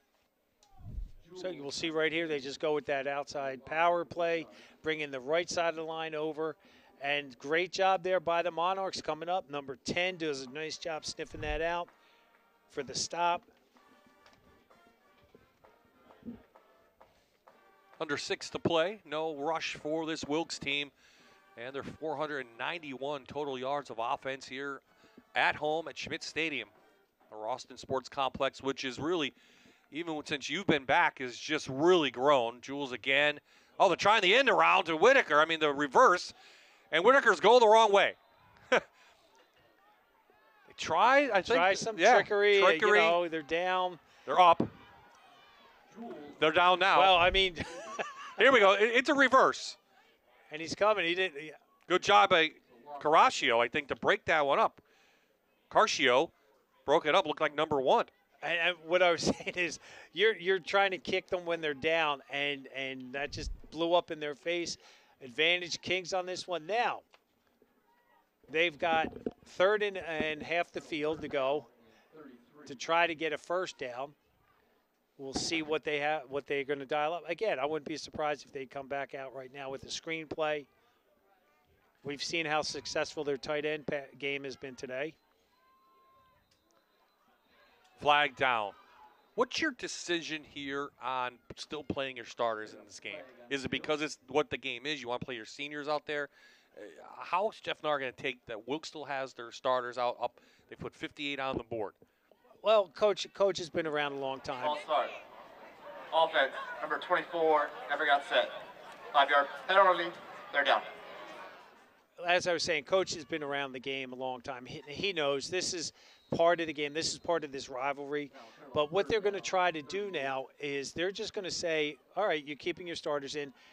Because Wilkes really was on the bubble in terms of playoffs. So this could potentially Yeah. be the Wilkes kids' last game of the season. So he, he's going to take it with a grain of salt being down by, you know, what the score is right now. And he understands that they might be trying to get Jules, you know, his thousand yards. This could upset them when you start passing the ball. But look at the look at the situation. Intercepted by Sherrod on third and 38 for Kings. Whitaker takes a hit. Dean makes the tackle. But Sherrod, who got burned in the first half, uh, makes a gets an INT in the books. Again, it was third and 38. You have to pass the ball on this one. I mean, the kids, you're teaching your kids to be comp- He tipped it to himself. Impressive. well, we do the tip drill almost every day. Well, they do it every day. That's his seventh interception in the league in this year. He's first Wow. in the league in interceptions. And that was quite impressive, tipping it to yourself. Wow. He's a Pennsbury graduate, uh, 6'2", 155 pounder. Wow. Interception in the last, well, it said five games. Now it's six games. So the streak continues for Tion Sherrod. And Kings is back out, down 24.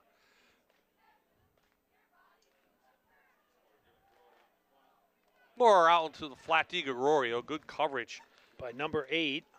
Number eight on the Wilkes defense is Donnell Mackey out of Woodson High School.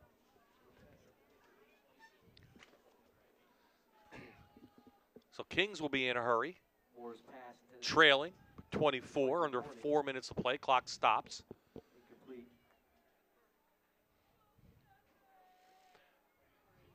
Weather has turned out beautiful. Mid October, like a mid October day, not mid November. Moore back, just a three man rush. So they'll go over the middle. Tommy Suryavong makes the catch and takes a big hit. Another Old Forge guy. We're, we're just seeing a lot of sprinkling of all the local talent here. Watch this play in here, and Holcomb comes up, just has him. and then another guy coming in just laying it in there. Again, they're going to make sure that they make their marks known on each side of the ball. Going long for Soryavong, well overthrown. Had a step on the defensive back, but would have had been a perfect pass from Tyler Moore. He drops back. You can see that how that's setting up. He's got time. Launches the ball downfield. He had two steps on him. Led him to the inside in between the defenders, but to no avail. So it's fourth down. And here's a flag. There's a flag on the field. And a lot of talking, as we talked about, trash talking, a lot of back and forth. Somebody may have said something. After the play was over, unsportsmanlike conduct, Wilkes, number 15. 15-yard penalty, first down. This is Wilkes, number 15, first unsportsmanlike conduct penalty. Holcomb. Huh. Holcomb, a senior, 48 total tackles. Had 15 total tackles against Leb Val this year. Last time in his uniform, he also picks up an unsportsmanlike. Not the way you want to end your career. I, I, we've always, and every coach will stress and preach the discipline. Don't don't stoop to that level. But sometimes emotions get to the best. And again, we're dealing with young men here.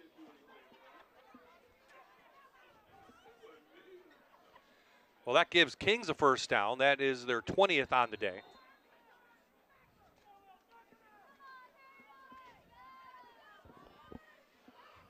Over 700 yards of total offense between both teams. A little give inside to Haley. Haley taken out by Piston again. They run that little counter action. Quarterback acts like he's rolling right, hands the ball off. Second and one. And they cut back left. Under three to play. Into the flat to Cohen. Marshall with the tackle. Rid him out of bounds. Uh, Smartly runs out of bounds, gets the first down, and stops the clock.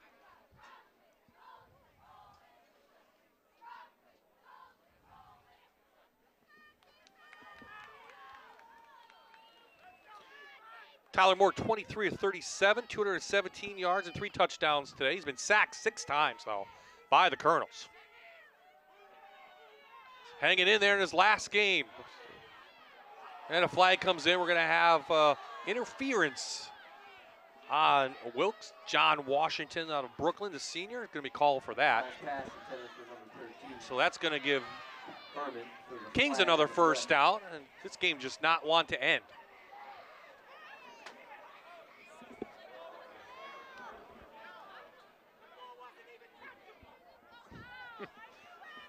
Listening to some of the fans. fans. Defense, number 12. 15-yard penalty from the previous spot. First down. So let, us talk about that quickly. We have a second.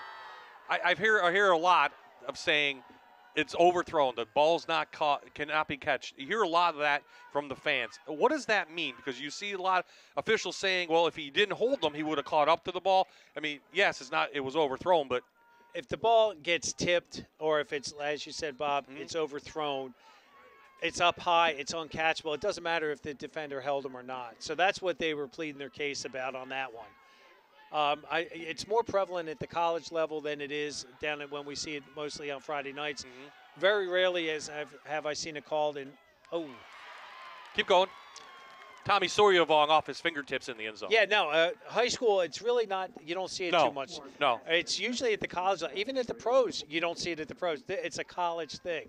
So it, it, It doesn't matter if it's catchable or not. You either held him or you didn't, right? Right. And that's what it comes down to. And so it- the, you, the official isn't looking at if it's catchable or not.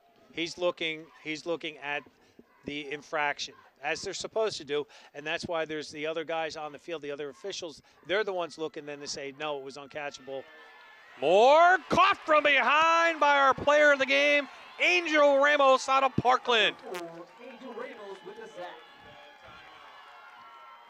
Boy has he had a great game today number four Four sacks from the Parkland product.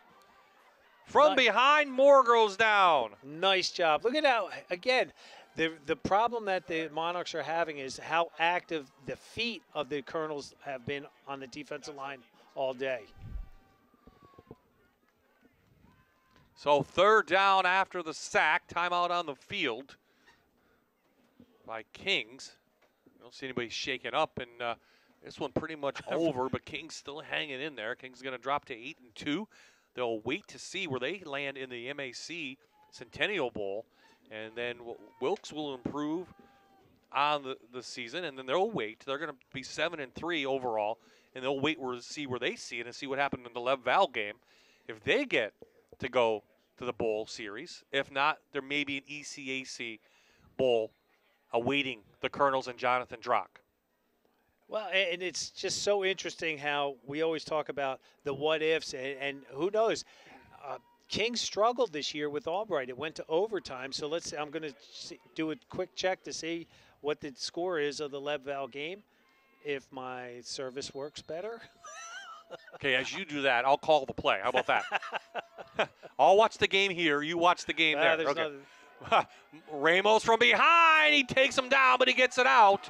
And that's oh. going to be a penalty back there on the quarterback.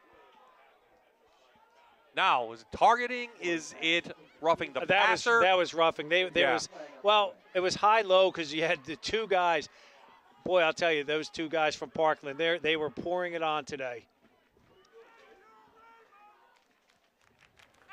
Personal foul, roughing the passer, defense, number four. 15 yard penalty, first out.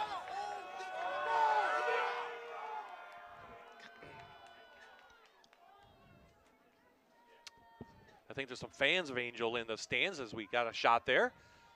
Monarch first and 10 on the Colonel 19. Good crowd here. I mean, beautiful day for college awesome football, day. wherever you are. After that storm came through. Boy, and it was pouring last night. I woke up to having a pond in my front yard, and I don't have a water. you don't have a pond. so on first down, Moore to the air over the middle. Cohen still on his feet, breaks the tackle, carries a couple guys in, and it's a Monarch touchdown with 147 left. We keep chipping away, and that's Coach Knarr and his staff have preached to these kids. You got to fight to the very end, and that's what they're doing right now. They're showing their resiliency and their grit coming in there. there nice job. He wasn't not going to be five gold jerseys there, and he was not going to be denied. Albright is losing 20 to seven in the second quarter, so who knows? I mean, uh, the Wilkes faithful might have keep their fingers crossed.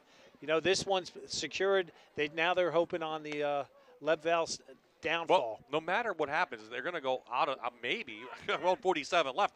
They're, they're going to take the Mayor's Cup. They're going to have that to hang their hat on if that's their last game of the year. And what a great way to end your season, if it is the end of their Second season. Charge, timeout. King. Kings, Kings called the timeout on uh, the special on special teams here. Not sure why. Maybe they want to go for two. I, I, don't know. I don't know what that would give you though. That would. I would you say 42. you want to conserve the timeouts. If you you're going to onside kick it here, you conserve the timeouts. Correct. Well, believe it or not, folks, there was a 34 point lead for Wilkes. it's down to 18 now. They're, they and again, Kings keeps chipping away, and, and that's that's what they these kids have been coached to do. You fight to the end.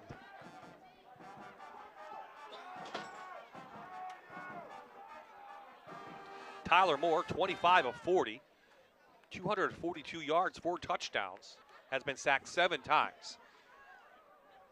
And the Parkland connection really showcased how good they are and, and how much this game meant to them today. So after the timeout, Kings is down to one on the game. They're go for two. So that's what they're figuring out that two-point formula, coach. so that's 42. You're now you're down by 26. You're, you're still by three, four scores. Four scores. Um, Anyway, Tyler Moore is back on the two point conversion. Over the middle, it's caught by Di Gregorio, and it, it's good.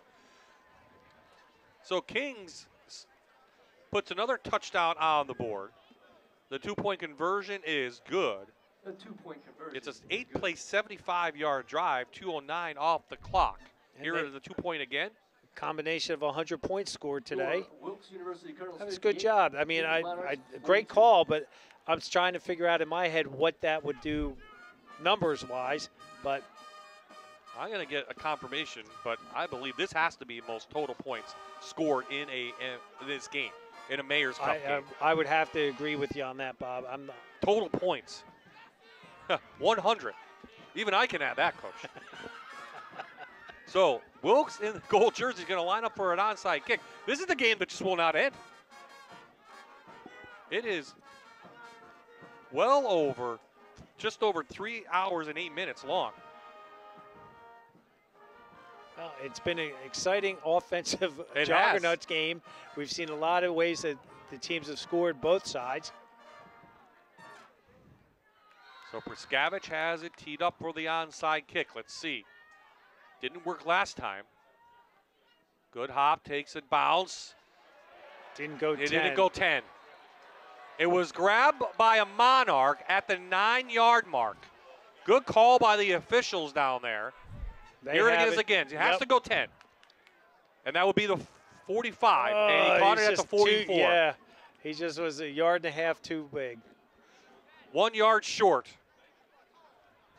Jahan Haley, the running back, had it. And I think the great job of the official to notice that. They did, and, and you saw. I, I was watching how the officials work.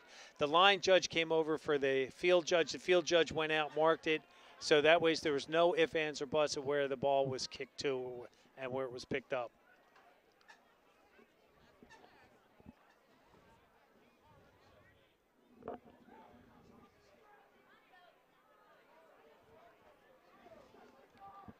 So the most total points in this game ever scored was 76. Well, that So that's there's been 24 eclipsed. difference. Let's see what the co- uh, referee has to say.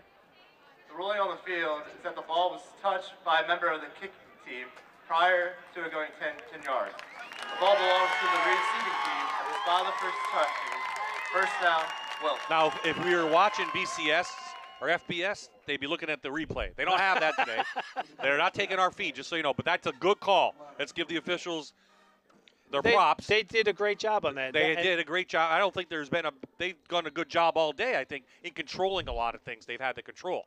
So that should just about do it. Just one timeout remaining. Couple plays here, and taking a knee.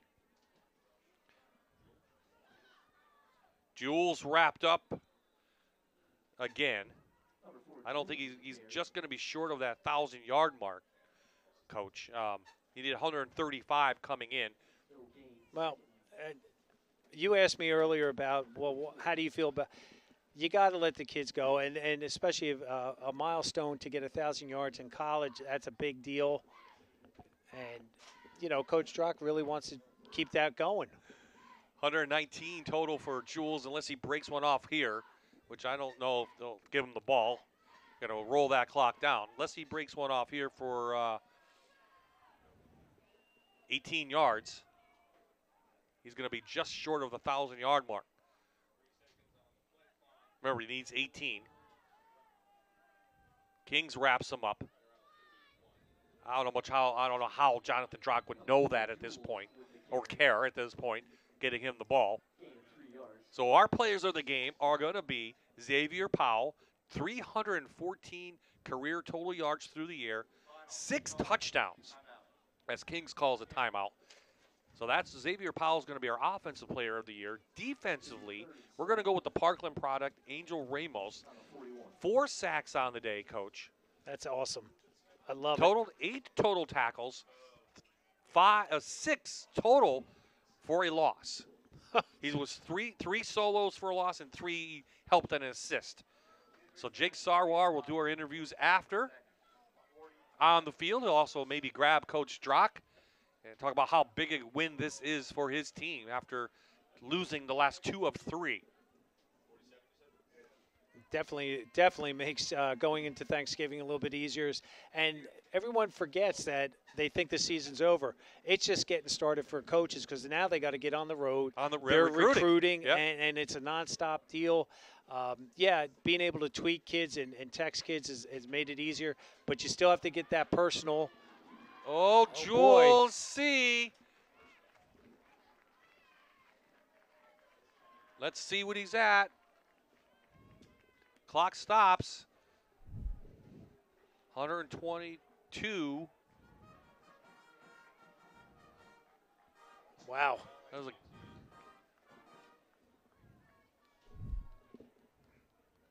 first down. Clock should roll then, right? No, he, he was out of bounds. Out of bounds. Cardinal first and 10. On the Monarch 19. Bringing in, shuffling in some uh, backs, and they'll go into the victory formation. So Jules gets the thousand yard mark on that carry, 139 total. Waiting for the update. So 1,004 for Elijah Jules, and what a year for the running back. First in the MAC. More importantly, in this 26th annual Mayor's Cup, Wilkes gets the cup back. The final score will be Wilkes 58, Kings College 42. It's the first Colonels win over the Monarchs since 2019. Again, fans, you are reminded that they are not allowed on the field at any time before, during, or after the game. Fans, stay off of the field. Thank you.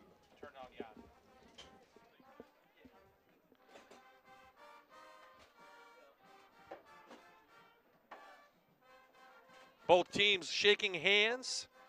Then there'll be some on field presentations of the Cup and an MVP from each team that's sponsored here as part of the Mayor's Cup action.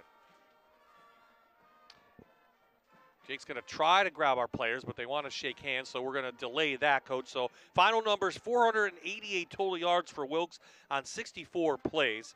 Xavier Powell, as I mentioned, 314 through the air, six touchdowns through the air, and that's the total difference over last year. Overall, Kings had 25 first downs in the game. They end with 71 plays on for 344 total yards. They put up 42 points overall. So they did make a nice comeback, but the, they're going to end up just a little bit short, just about 14 point, 16 points short of pulling off the victory.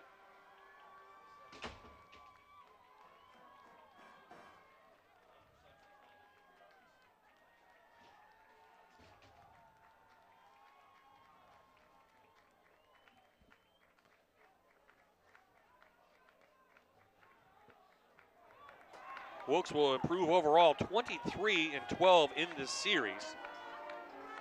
And some jawing going on, as you might expect. They're going to separate them on the field. Trying to separate them. Again, this will linger in the minds of both teams. Kings next week will play a game in the MAC Centennial Bowl. Where and if they host, still to be determined. Wilkes awaiting to see if they get in the bowl series and or an ECAC bid as the alma mater being played here for Wilkes University.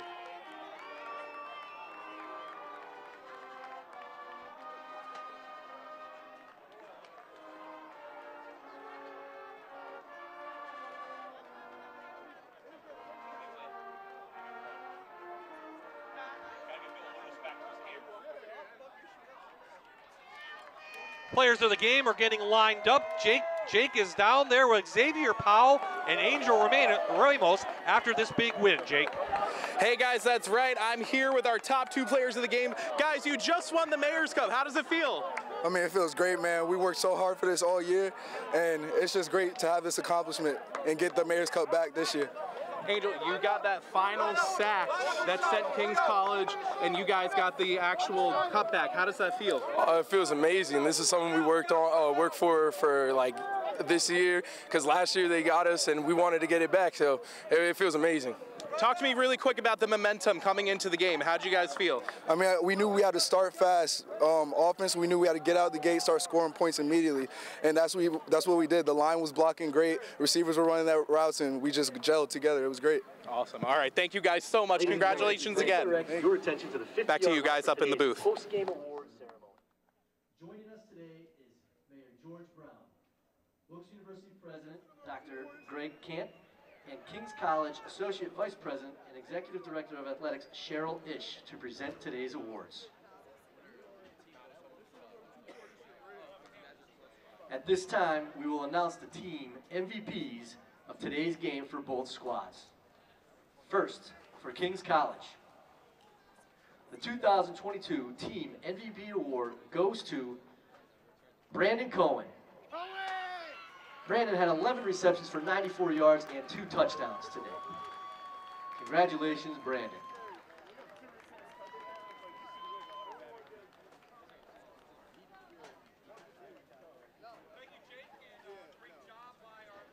Today. What a game for both teams. Exciting. 5,800 points total scored in this game is just amazing, coach. And uh, great job by Xavier Powell. Stepping in, don't know 100%, 75%. Great job at the quarterback position. Wow. Talk about a difference in the game. He came in, took control offensively, passing. Who knew Wilkes could pass the ball that well? I'll tell you what, 100 points, they just blew the old record out of there. And, and again, congratulations to the Colonels on getting the Mayor's Cup, but this is such a great tradition. Absolutely, 35th meeting overall, and the, probably the most points scored in this game. Unbelievable. It's a long one, but it was a great game. Great college football game for the local area. And again, being the closest rivalry in the country, they, they left nothing left out on that field. They played their hearts out both sides all the way to the end. Okay, if you're Kings, how do you regroup now? Well, short-term memory loss. You just got to forget it. They're going to fix the things that they know they can fix and control what they control. And now they've got to think about that playoff uh, situation that they're going to be in, whether it's the NCAA bid or it's going to be that Centennial Bowl game. Okay, on that note, the Mayor's Cup is held up high by the Wilkes University Colonels. The final score again, 58 to 42. For Jake Sarwar, for Jan Cichak, for the entire Fox 56 sports crew, this is saying bye-bye on a beautiful day in Edwardsville.